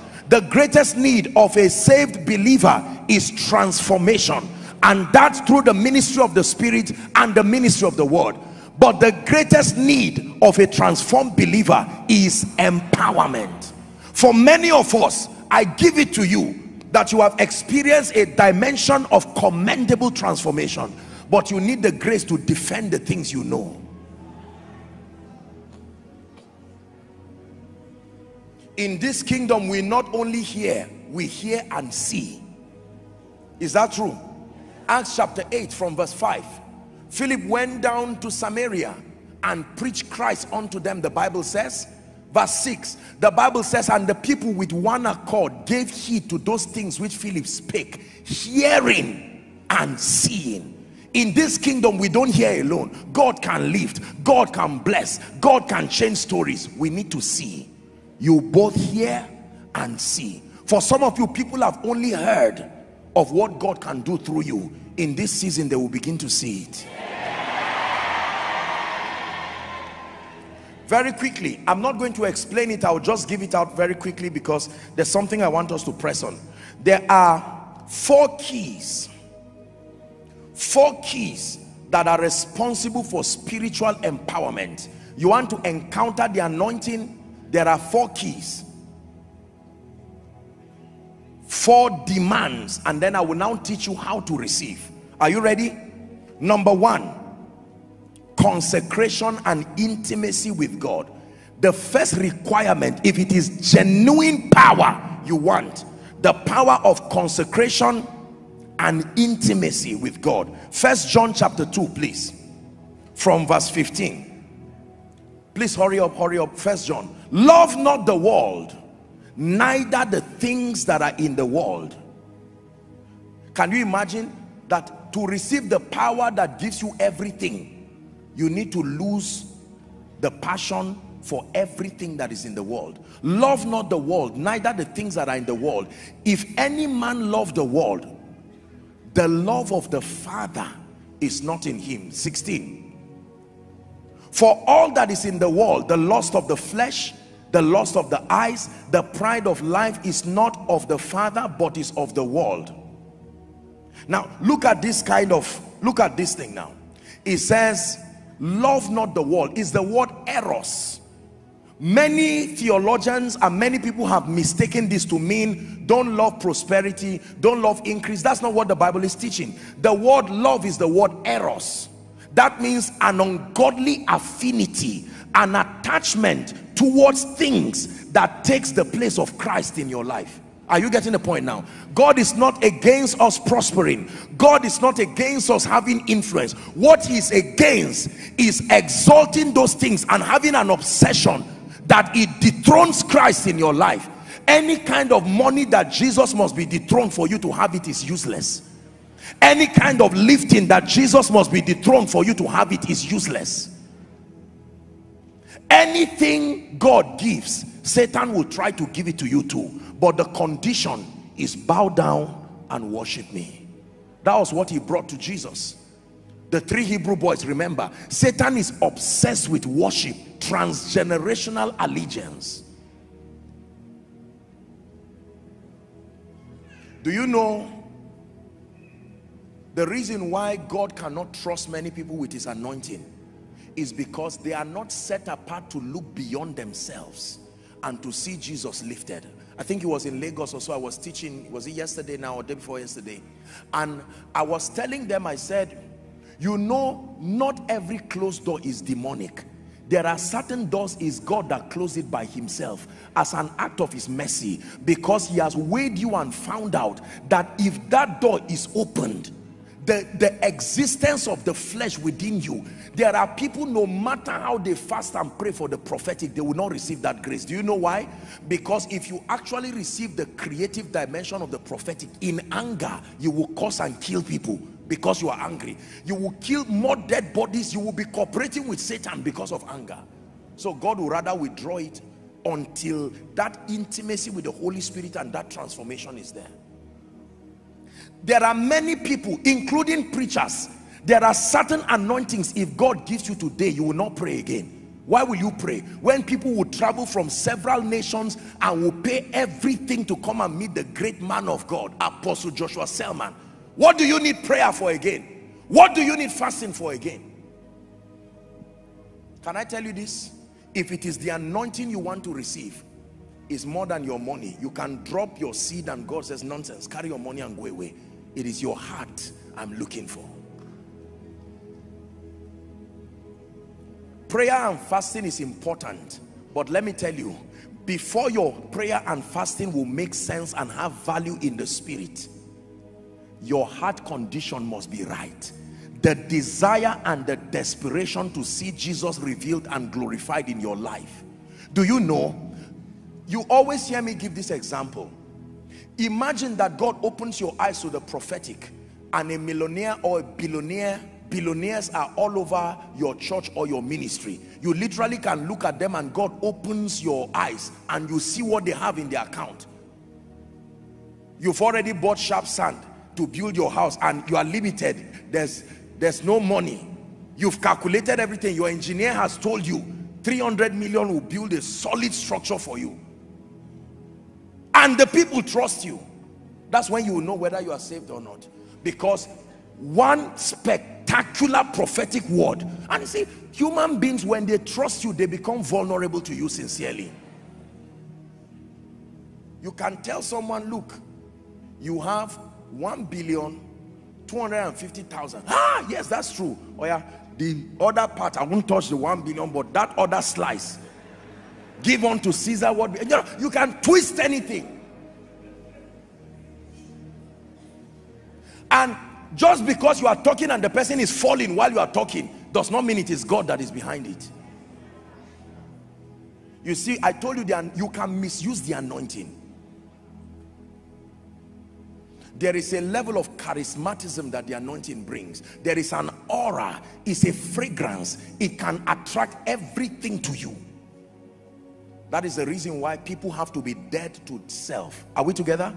Consecration and intimacy. Proverbs 23 and verse 26. This has become an anthem in my life and I'm praying that someone will finally get that revelation. Please look up. My son, give me mine, give me thine. Many people are giving God offerings. Many people are giving God pulpit. God does not want your pulpit he's not looking for your offering your tithe. All of those things are secondary. Let me tell you sincerely if you want power with God koinonia hear me. What God wants is your heart. I can tell you by the authority of scripture by the privilege of learning from the fathers and by my own experience if you are genuinely anointed genuinely anointed of God there is almost a godlike worship that people can bring around you because of the all-surpassing manifestation of the excellency of God in your life. Even you, sometimes you will look at yourself and say, my God, who am I? I know what the anointing can do. Believe me. And if you are not broken before God, and especially our generation of ministers, small grace here, small anointing, and that's it you see people misbehaving all around with the anointing. Small prophetic, small apostolic, and all kinds of things. And God just withdraws the more he wants to give you. Because when God tests you with it, you are rude, you are lawless, you are indisciplined, you are, you are, you are rebellious, you don't have any regard for authority. God says, no. This little we've given this guy, let's leave it there. If we multiply this anointing, you will kill everybody it means people will start kneeling down lick your shoe worship you call you king of kings then they will receive healing and go another person will do that kind of thing go and read the stories of people i'm not being sarcastic who did not allow God to walk on their hearts.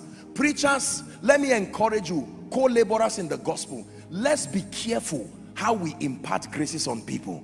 Just because people are committed and their hearts are open does not mean they are prepared. Let God vet them so that you do not anoint people who will be a casualty to you and others. History has taught us a lesson. Anointing people unprepared will always lead to casualty. We are all students in the school of the spirit, don't get me wrong. It's like carrying your car and giving your 12 or 13 year old child the way children are brilliant now one can even drive with his eyes closed children are have mastered the art of surprising everybody but the chances are excellent that that child he will most likely be the only one with that car among his contemporaries and his pride not incompetence that will kill that child. Do you know what it means to carry the grace that grants you access to the destinies the loyalty the finances of people? It was our father in the lord baba adeboye who made a statement one time and he said by the grace of god if he needs a shirt today by the privilege of the influence God has given him he can make one statement and say brethren I need a shirt and he said literally without exaggeration his size can finish in the market because everyone will want to go and do you know what it means to have that level of influence? Don't tell me I will be fine. Are you seeing why God works on our hearts? You can speak to someone and say in the name of Jesus Christ may the Lord lift you. And in two weeks he comes back he has become a billionaire. And the person comes to you as a billionaire and say man of God I'm still your boy oh. Good news to the ear of a preacher. A billionaire is your boy. Are you learning tonight? While you are laughing please make sure you understand what I'm saying. God demands death to the flesh if you must carry genuine power billionaire is your boy.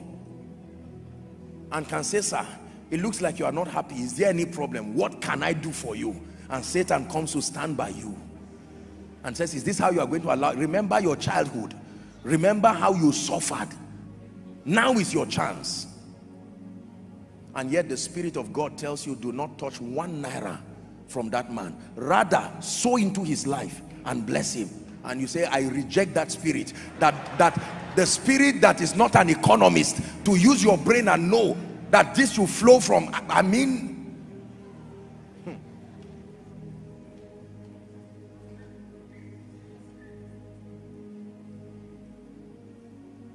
can you be so anointed that God places you in the midst of greatness and you still have self-control there are many wealthy people today who run away from churches respectfully speaking because they won't let them rest. Once the preacher is preaching he's looking at everybody but they know who he's talking to. And the people say please it's not a cause to be blessed. That's why most people don't testify. Because they know it's a risk. Oh this is what God has done. We just floated two aircrafts I mean one estate and all of that and the preacher is clapping. And the man knows exactly what that clap means See, I, I made a vow and a covenant that by the privilege of God's grace, I'm not saying it by the strength of the flesh, this ministry will never inconvenience anybody because of tea and bread. If God will not provide the wisdom to fund this assignment, I will honorably go back home and sit down. It's better to sit down and not do ministry but have your integrity. Are we together now?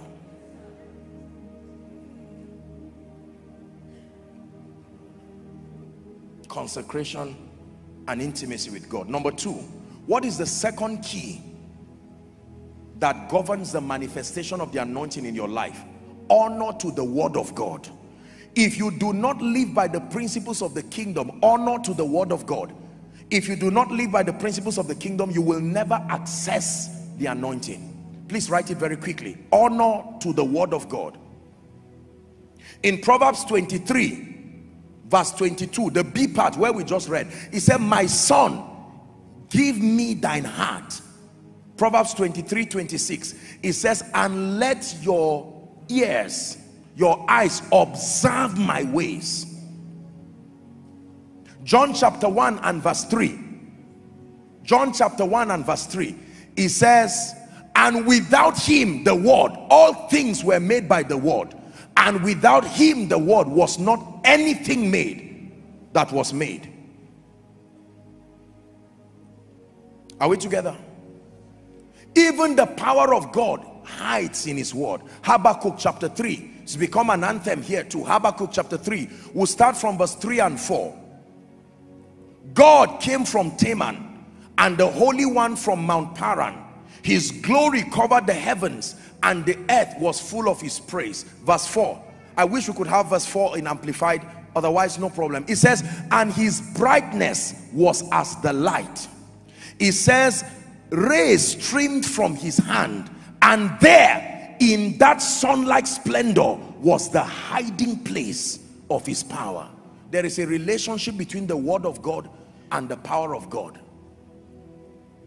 the second key is honor to the word of God I submit to you that I have a problem with people who manifest power and I cannot see in their lives honor for the word of God and the principles of the kingdom if you manifest power and you do not have honor for the word of God, you deserve to be suspected. Are we together? Because it's like seeing somebody with a child who you never saw pregnancy. Are we together? Your stomach was as flat as my own now and then immediately you just drag a child. No, we have a right to say whose child is this? and it's not maybe surrogacy or anything. You say it's my child I was pregnant. We need to examine that kind of pregnancy. That's how the word is on miracles on the supernatural. If you do not have honor to the word of God we look at your life and we do not see that you understand the word of God. Believe me do not blame people if they suspect the manifestations that come through your life the word of God gives credence to the outworkings of his power in your life are we together Number three, what is the third key that controls spiritual empowerment? Prayer with fasting. For me, it's not just prayer and fasting. It is prayer with fasting. The emphasis is prayer. The fasting is an accelerator. Prayer with fasting. Luke chapter 4. Very quickly, we'll look at verse 1 and 2. Then we'll go to 14 and 15. Luke chapter 2, Luke chapter 4, 1 and 2. The Bible talks about Jesus being full of the Holy Ghost. So he was full of the Holy Ghost. He returned from Jordan and he was led by the Spirit into the wilderness. Verse 2. It says, being 40 days tempted of the devil. And the Bible says, in those days, he did eat nothing and when they were ended he was afterwards hungry let's jump for the sake of time to verse 14 you know his temptation the three temptations and all of that and the bible says jesus returned in the power of the spirit into galilee and there went about a fame all the regions round about 15 it says and he taught in their synagogues being glorified of all. If you want to walk in genuine spiritual power the facilitator of the anointing is prayer with fasting. There is nobody I know who genuinely commands the supernatural who is not a student of prayer with fasting. There are wrong fasts there are religious prayers and fasting that does not carry any power. It's just a show of religiosity with no it's just for health benefits. But there is the kind of fast God has commanded. And then according to James chapter 5 there is the effectual fervent prayer of the righteous man that avails much. It, it has tremendous power dynamic in its working amplified says right for reference James 5 from verse 13 to 18 James 5 13 to 18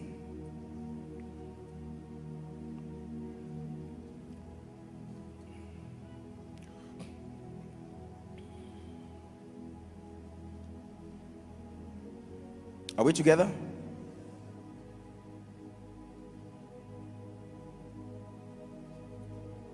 The last now.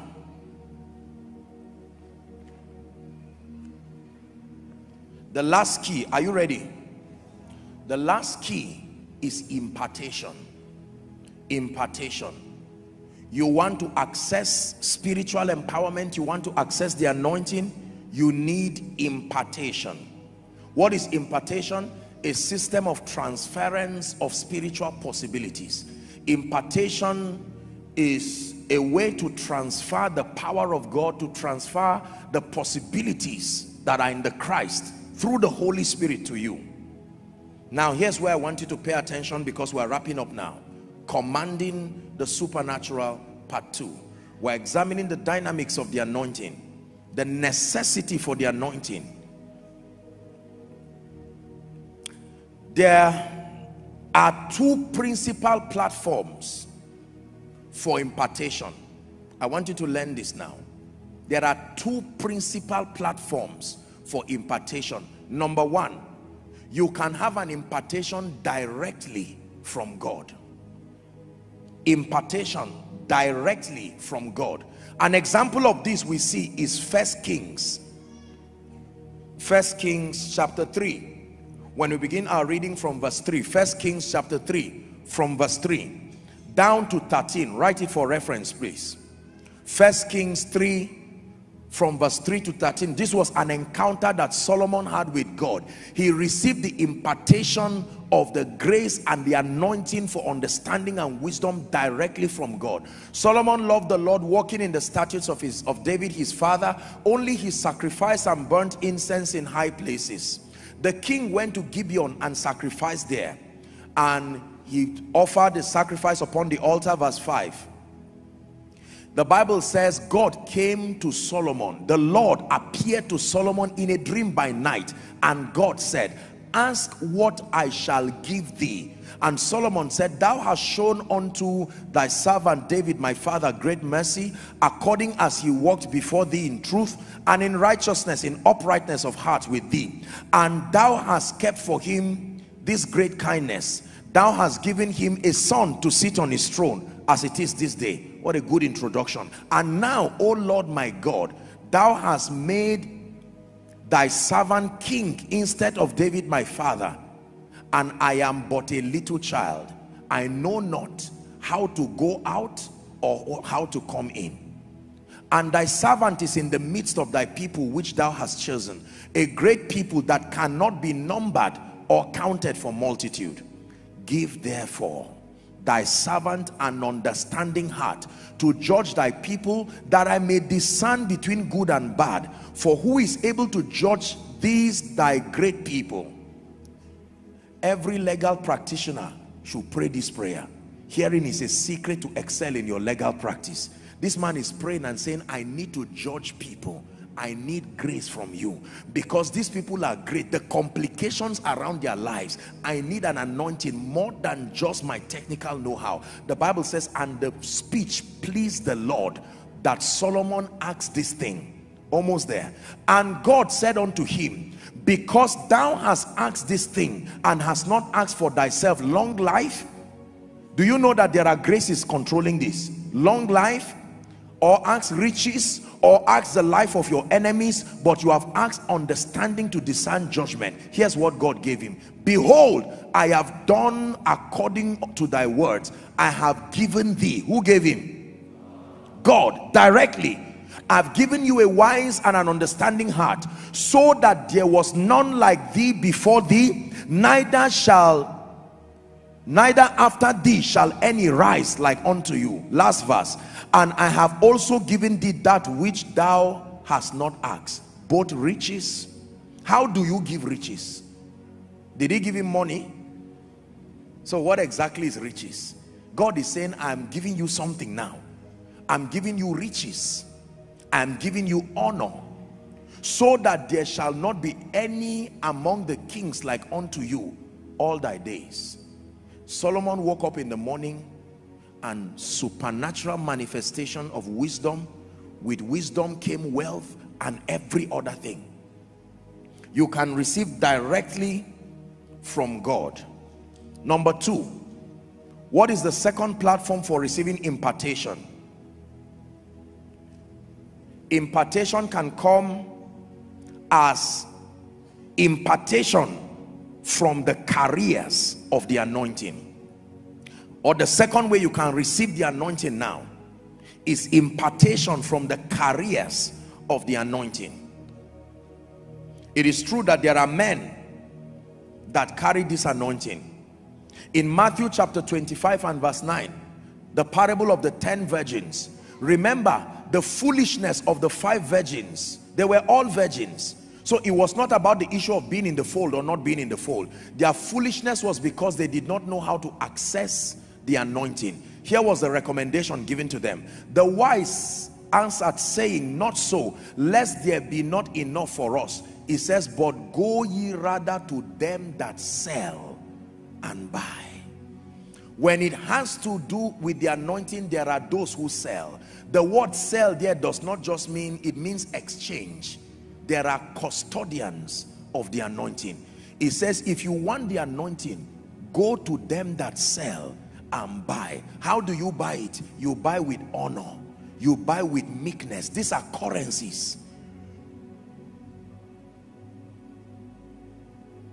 Every dimension of anointing you need in your life today believe me there are vessels that carry it bodily right now. Under a certain condition it can flow freely to you. There are three conditions that you must satisfy if you must receive the anointing from carriers number one is called genuine connection or genuine followership. The first condition you want to receive the anointing from a genuine carrier of it you need genuine heart-to-heart -heart connection genuine followership.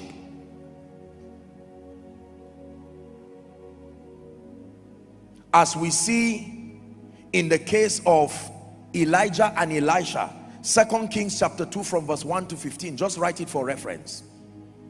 Second Kings chapter 2 from verse 1 to 15 so three conditions if you want to receive impartation from a vessel that has been trusted by God. Number one is genuine connection. Number two honor. I've taught you here that honor is the key for access. Honor. What is honor? The discerning the celebrating and if need be the rewarding of people for their uniqueness. Genuine connection condition number one honor condition number two number three service service is a jackpot gateway into the anointing now let's look at a few instances of impartation and then we'll be ready to pray Numbers chapter 11. We'll read 16 and 17, then we'll go to 24 and 25. This was Moses now. And the Lord said unto Moses, Gather unto me 70 men of the elders of Israel, whom thou knowest to be elders of the people. Notice those who were qualified for the impartation. He did not gather children and lay hands on them. An elder is one who has an advantage of knowledge and if need be experience. I'm not saying God cannot anoint children, but this is just to draw a lesson from it. People who have been walked upon, prepared, whom thou knowest to be elders of the people and officers over them, and bring them unto the tabernacle of the congregation, that they may stand here with thee. 17. And I will come down and talk with thee there, and I will take of the spirit which is upon thee, and I will put it upon them, and they shall bear the burden of the people with thee that thou bear it not thyself alone this is what God does not want this already cancels away this obsession for superstar Christianity where just one person carries the anointing when you see most men of God stand like superstars they really don't want to be superstars is because most people have not paid the price to be partakers of that grace indeed. You're not going to receive an anointing from a man of God with pride and carelessness and lack of discernment. Everybody who carries anything from God knows that it is the grace of God. But believe me, there was a price behind it. And nobody would throw away anything valuable just on the floor. Are we together? but then sadly there are other people who enjoy that obsession and would never give people a chance to partake of that grace isaiah 9 8 remember when he sent a word to jacob it lighted upon israel that means every time god anoints one person it is not just to remain with you. You should be a distribution channel so that many other people can partake of that grace. Let's go back to our scripture where we were reading numbers 11 24 and 25 we have to rush. Numbers 11 24 and 25 and moses went out and told the people the words of the lord and gathered the 70 men and the elders of the people and set them round about the tabernacle. Verse 25 and the lord came down in a cloud and spake unto them and took of the spirit that was upon him and gave it to the 70 elders. And it came to pass that when the spirit rested upon them they prophesied. When the spirit rested upon them they prospered when the spirit rested upon them they became wise. If the spirit rests upon you something must happen. It is impossible. The spirit there means the grace. The grace cannot come upon you and you remain the same. It's impossible. When the spirit rested the bible didn't say when the spirit came. To rest means you have found a habitation. The anointing can come but it may not rest. The performance happens for those who allow the anointing to rest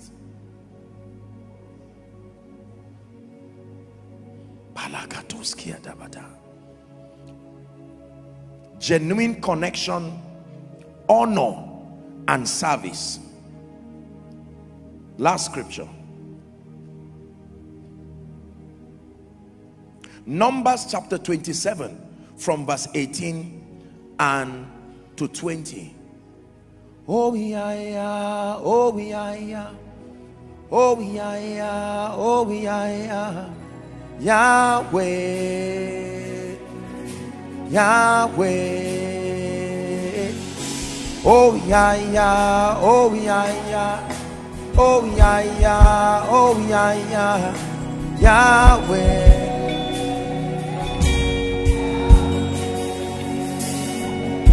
Let your kingdom come, let your will be done, Yahweh. Yahweh. Let your kingdom come, let your kingdom let come. Your will be done. Yahweh. Yahweh. Yahweh. Hear me. We have gotten to the crescendo of this service and I want you to be sensitive. Believe me when I tell you, you have come for this service to receive something tonight. Hmm. Numbers chapter 27. And the Lord said unto Moses, take thee Joshua the son of Nun a man in whom the spirit is already on but there are dimensions that are not yet there. Lay thy hands upon him. 19 and set him before Eleazar the priest and before all the congregation and give him a charge in their sight verse 20 and thou shalt put some of your honor. You see that honor is a grace. It is transferable. Put some of your honor upon him that all the congregation of the children of Israel might be obedient. If that grace is not on you as a leader nobody will listen to you. You can be as disciplined as anything but if that grace you that your words will fall on deaf ears. Deuteronomy chapter 4 and verse 9 Deuteronomy 34 and verse 9 let's read together. Are we ready? Inside outside everywhere if you can see it let's read. One to read. And Joshua the son of Nun was full of the spirit of wisdom for Moses had laid his hands upon him and the children of Israel hearkened unto him and did as the Lord commanded Moses. Listen I can tell you at every point and at every junction in my life when what grace and what dimension came to my life. I didn't start ministry with every anointing and every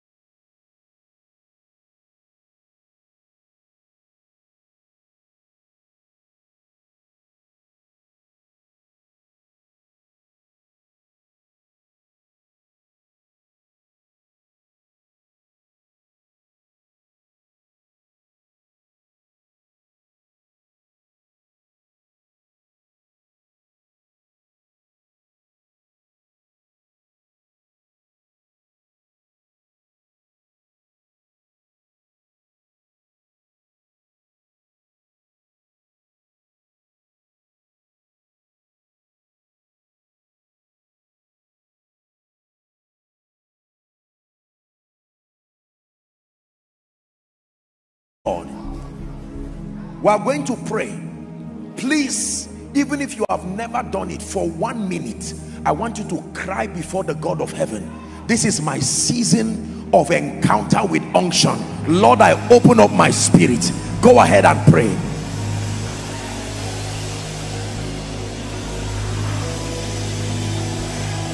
Go ahead and pray.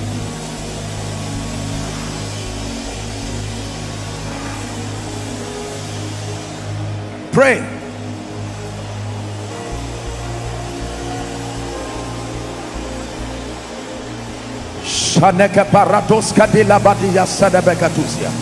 Let a man so account of us. Stewards of the mysteries of the kingdom. Moreover, it is required in stewards that a man be found faithful cry unto God. There are ministers who might be watching. There are business people. There are politicians. Hallelujah. Listen. Listen. I knew that I had an apostolic call upon my life but I didn't know that I had the grace this grace they call the kingmaker anointing this is for politics and governance. I'm not saying it because I'm, I'm i fear God. I'm, I'm not do politics. Go and read about Samuel. There are graces. You can literally enthrone people. That's what I told you in Koinonia. You don't invite people and say, rich people, come. You make them by the anointing. Can I tell you this? Please do not allow the devil cheat you tonight. I know there are people who say, forget about this man of God. They are, they are all proud people. They all talk nonsense. I beseech you by the mercies of God. You are not discerning. You will pay the price for nothing. Only Yeshua will reign forever. To his kingdom there'll be no end. Hallelujah. I remember there was a year, this will be about the first time I'm making this kind of statement. There was a year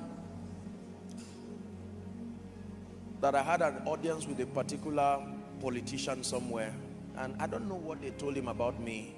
We had a nice time and he sat down. I'm not one who go and start prophesying. I don't do that. It's not.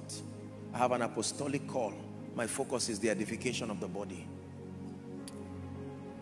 And I looked at this man and he wanted to contest for something.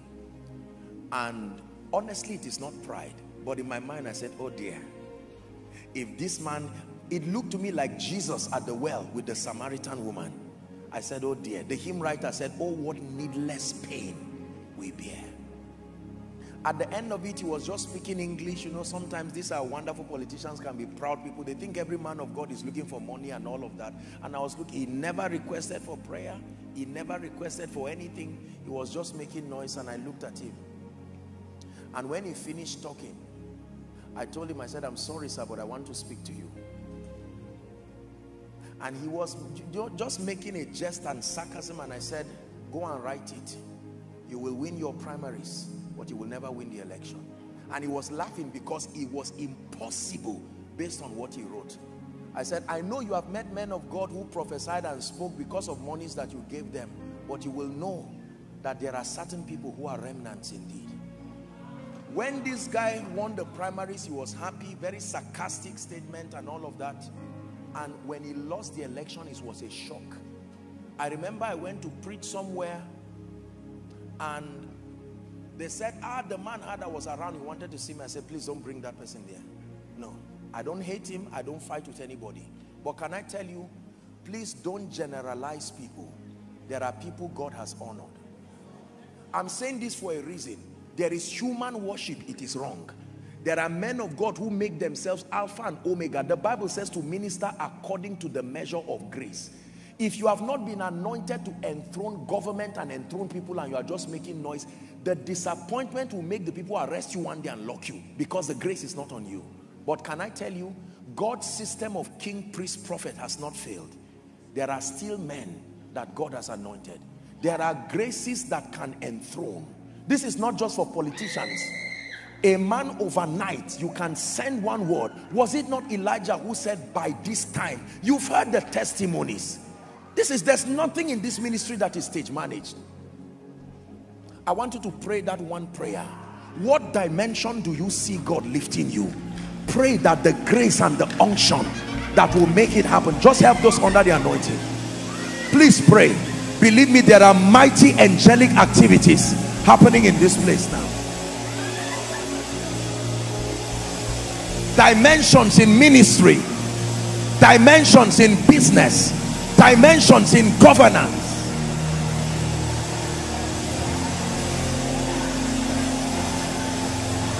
Show us the ancient path. Will you lead us along eternal highway? We want to follow the ways of Jesus. Please pray, please pray. Show us the ancient path. Will you lead us along eternal highway? We want to follow the ways of Jesus.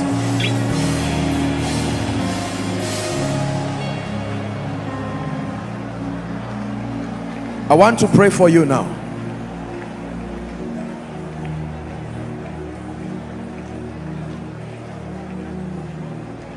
He that receives a prophet in the name of a prophet,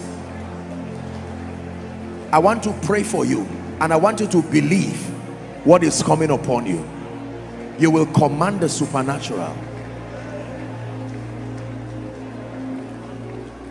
As many as we are here, so are our needs. And every dimension requires a grace. Therefore, I stand by the privilege of this election of grace. I stretch my hands from the north to the south. I'm telling you, I'm just in fire this is what I'm saying. At the count of three, the unction required for the next season of your life. In the name of Jesus, help them please. At the count of three, like fire from heaven, it will come upon you. One, two, three. Take that grace now. Take that, help them please, my God. Take that grace now. Take that grace in the name of Jesus Christ. Take that grace now. Help that woman please. Take that grace now. Superior anointings.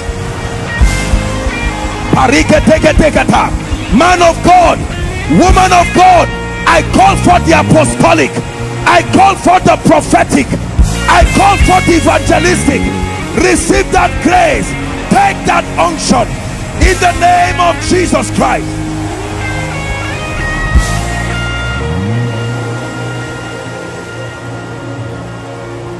I pray for those in business. That grace of an entrepreneur. The grace that can subdue systems and structures and give you visibility. May that anointing rest upon you now May that anointing rest upon you now.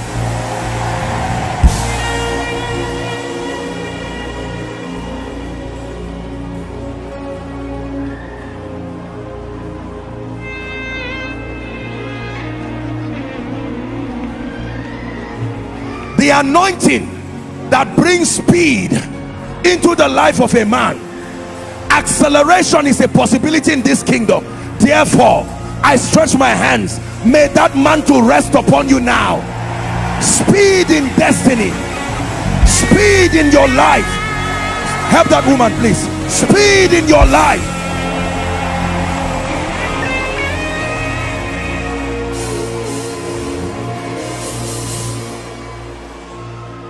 I want to pray for you. There is an anointing for influence and visibility. You can do all you can and your generation will not know you are there.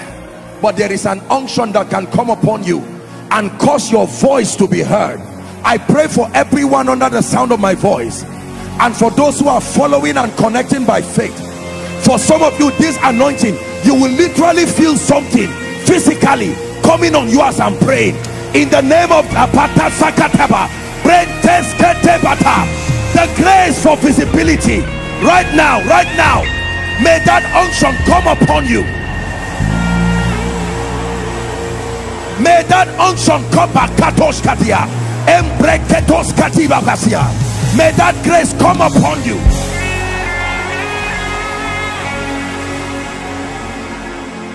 Let me pray for everyone here who is part of this spiritual family and you are into politics and governance the grace that enthrones. In the name of Jesus the son of the living God may that unction rest upon you right now. Marvelously rest upon you right now.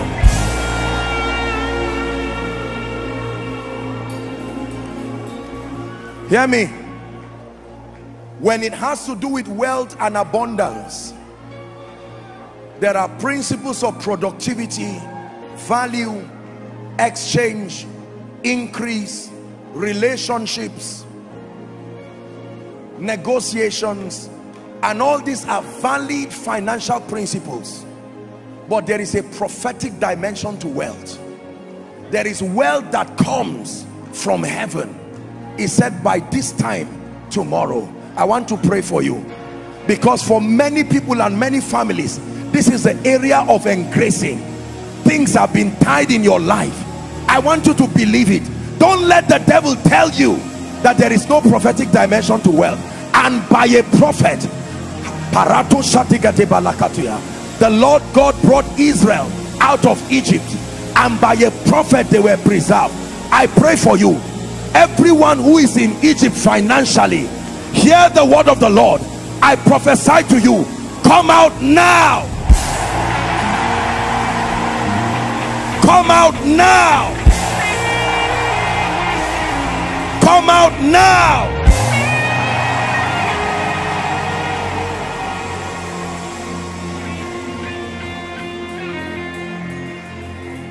The eyes that has refused to see you and favor you I open that eyes to see you the hand that has refused to sarapakatapa whoever is responsible for partnership with the Holy Ghost for your rising by reason of this unction I declare your rising is confirmed now.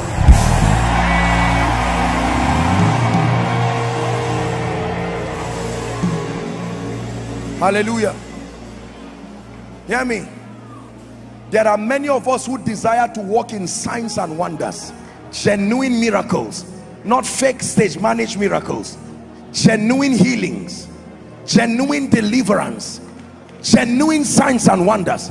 Some of you are here you are men of God. Some of you you are here into missions but it looks like there is no result. Some of you are even pastors and in all honesty you do not have consistent predictable ever increasing results by the privilege of the election of grace i stretch my hands towards you and i decree and declare by the power that raised christ from the dead step into the realm of the miraculous now.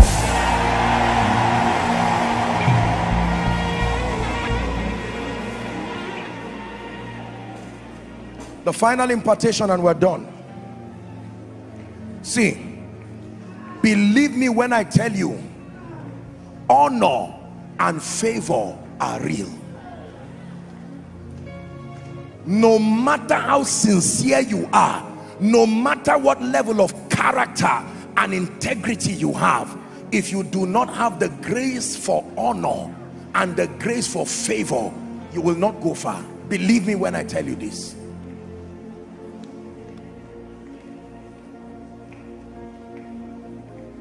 I want to pray that grace upon your life. It was a grace I pursued with hunger in my heart. And when it came, I knew it had come. Take over, take over. I have come to the end of myself. take over Jehovah I have touched something is happening in this place hallelujah. Hallelujah. I have come to the end of myself. There is an anointing called the Esther anointing. It was in 2010 2009 2010 God opened my eyes to this mystery of the Esther anointing. The grace that can pick you from Shushan and put you to sit in the palace. I stretch my hands right now. May that mantle for honor and favor that came upon Hadassah may that grace rest upon you now. Take that grace now. Take that grace now. The grace that enthrones Haman will not stop you. In the name of Jesus Christ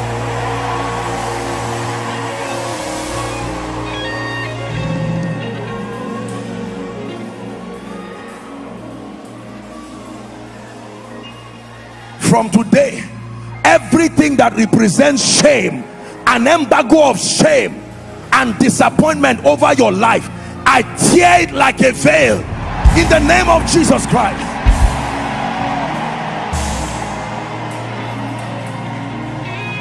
Hear me. For some of you I prophesy to you between now and Sunday I stand by the God of heaven and I decree and declare every day of this week will open you up to a new chapter of strange manifestation.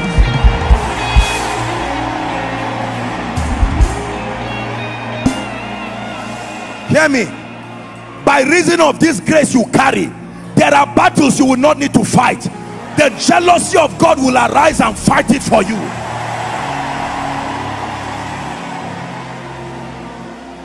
Where your father could not cross where your mother could not cross. Hear me.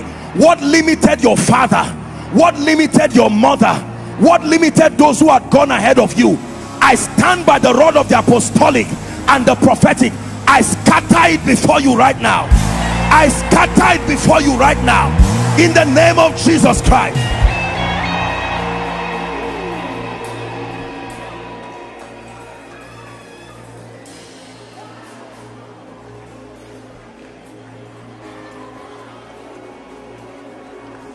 everybody who has forgotten you. Because there were demonic manipulations that took you away from their memory. They promise they will be there and help you. But as it is right now you will pass them and it's as if they are not seeing you. Go back with this unction this night and watch the wonder working power of Jesus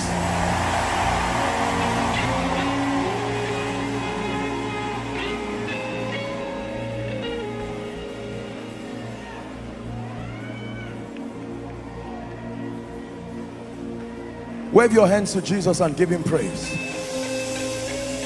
Wave it to the King of Kings. Wave it to Jesus the King of Kings and the Lord of Lords. Something has come upon your life. You are waving your hands and you are allowing the anointing rest. Oh hallelujah we give you praise. Our lives will never be the same. Never be the same. It will be proof that you are a people God has helped and God has blessed. In the name of Jesus Christ. In the name of Jesus Christ.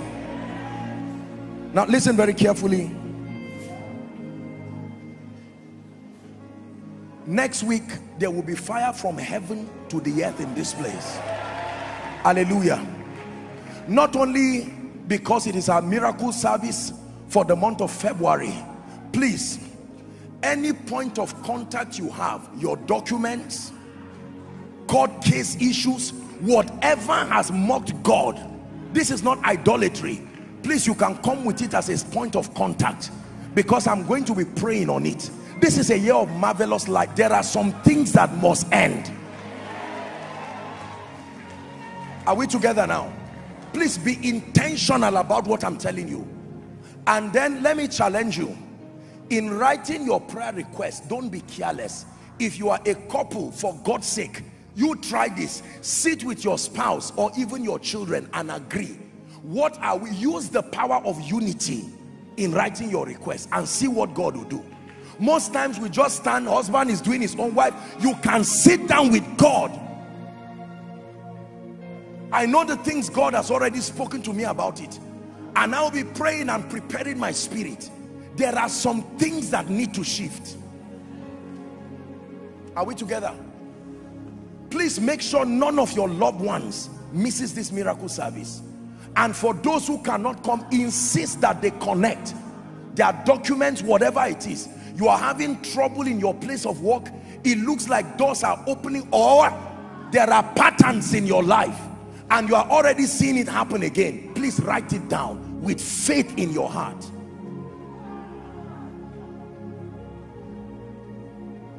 Your money is hanging somewhere your spiritual life is going down. Everything you put your hand to fails. Write it down. Let's see the God that answers by fire.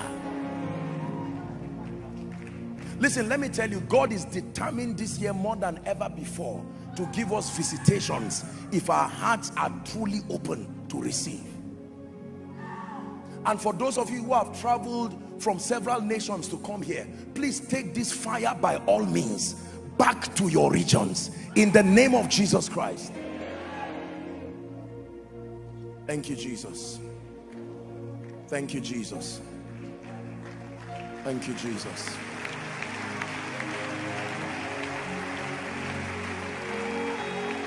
Hallelujah. Please let's all stand for the altar call. We're a soul winning ministry and we believe that every time we're gathered there will always be someone who needs Jesus desperately. We're not ashamed of our love for Jesus. He's the basis and the reason for all that we do. We've spoken about commanding the supernatural and oh how we desire to see people encounter Jesus. You are here under the sound of my voice in the main auditorium all the overflows outside and following from your homes from your offices and you're saying apostle hearing you made me know again that I need Jesus with all my heart and with my everything.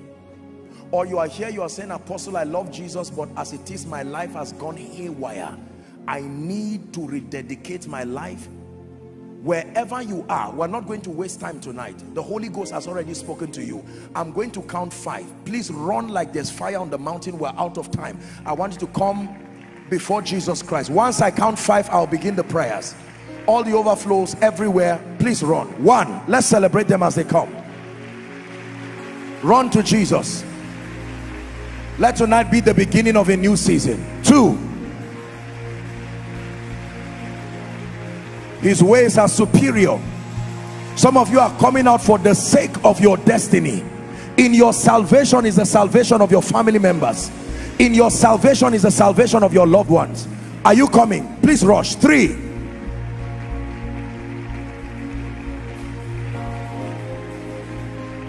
Okay i'm told if you can if you are not yet out you can come with your bags and your bibles. But if you're out please those who are close to them protect their valuable so that we don't have people picking their things. Are you still coming? Apostle i think i'm saved but i'm not really sure. Join them quickly there is such a thing as the assurance of salvation. Young and old everyone please come. Hallelujah.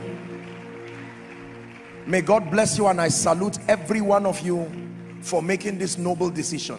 When it has to do with the matters of salvation there is no shame there is no age there is no gender there is no nothing. All it takes is hunger genuine hunger for jesus are we together?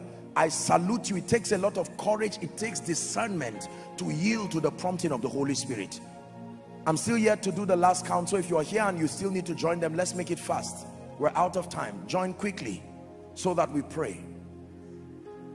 Jesus said, ye must be born again. The new birth is the foundation for the believer's experience.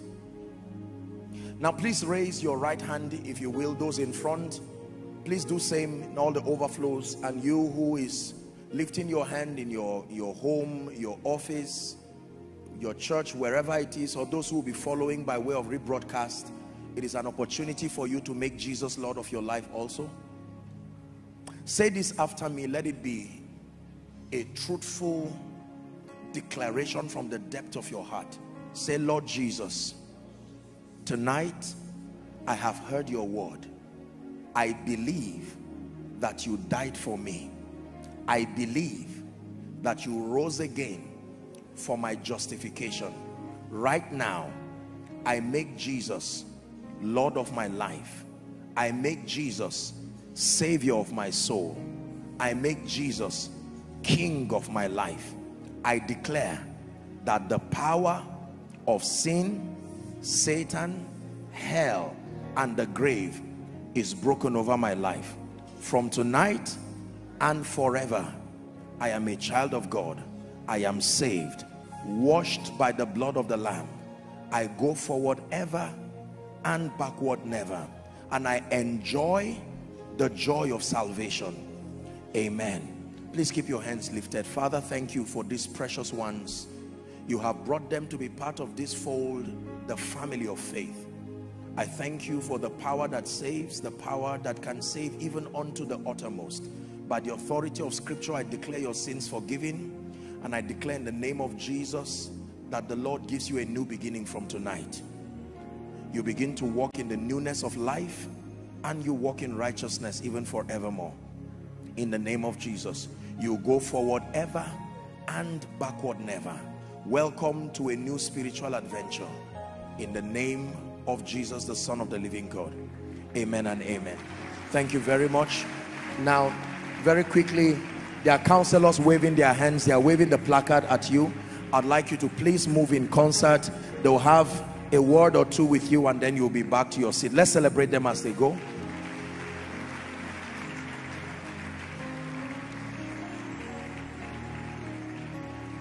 Hallelujah. Praise the name of the Lord.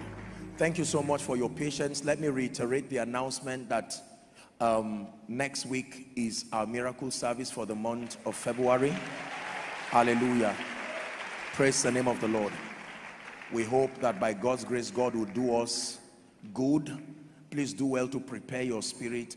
You can fast and pray, prepare your heart, come with your loved ones, do the work of an evangelist, invite everyone around the city for all who are coming from outside this nation, may I please request that as much as possible, except if you're just coming on your own to be blessed, you can do well to reach our PR lines so that they can help um, they can help you with all the logistics around your coming. They would link you up with the protocol also. Praise the name of the Lord. And let's do well to come on time so that we can start and trust God for a mighty manifestation of his presence and please let me encourage because of the the uh, you know the volume of people and all of that please cooperate with the ushers. The protocol the security is usually really very overwhelming for them. So please cooperate with them. We'll do well to make sure that everyone is comfortable. And um, when they give any security instructions please it is for our own good. May i request that we do well to comply instructions from parking arrangements to the logistics of our sitting and all other things, please work with them so that God will help us in the name of Jesus. And then if any if any international guest or any delegate is coming through you, please do well to help them. Do not just allow them to be frustrated around the airport or just leave them to people here, you know. And, and let me say this, I know that there are people who help to facilitate things like hotel services and all of that. Provided you are doing what you are doing with integrity, that's fine. But please, let us not hear that you are scamming anybody. I'm not saying it just for you, but maybe people around us. Let's put a watchful eye on people to make sure that our guests do not have a nasty experience as they prepare to come. So any family that is hosting any international guests, please may I request, take responsibility over their welfare and their stay. If you need any information, you can do well to reach our public relations department and the Lord will bless you. I believe that it will be a, a wonderful time. The, the number is for our public relations department is on the screen. Please do well to have it.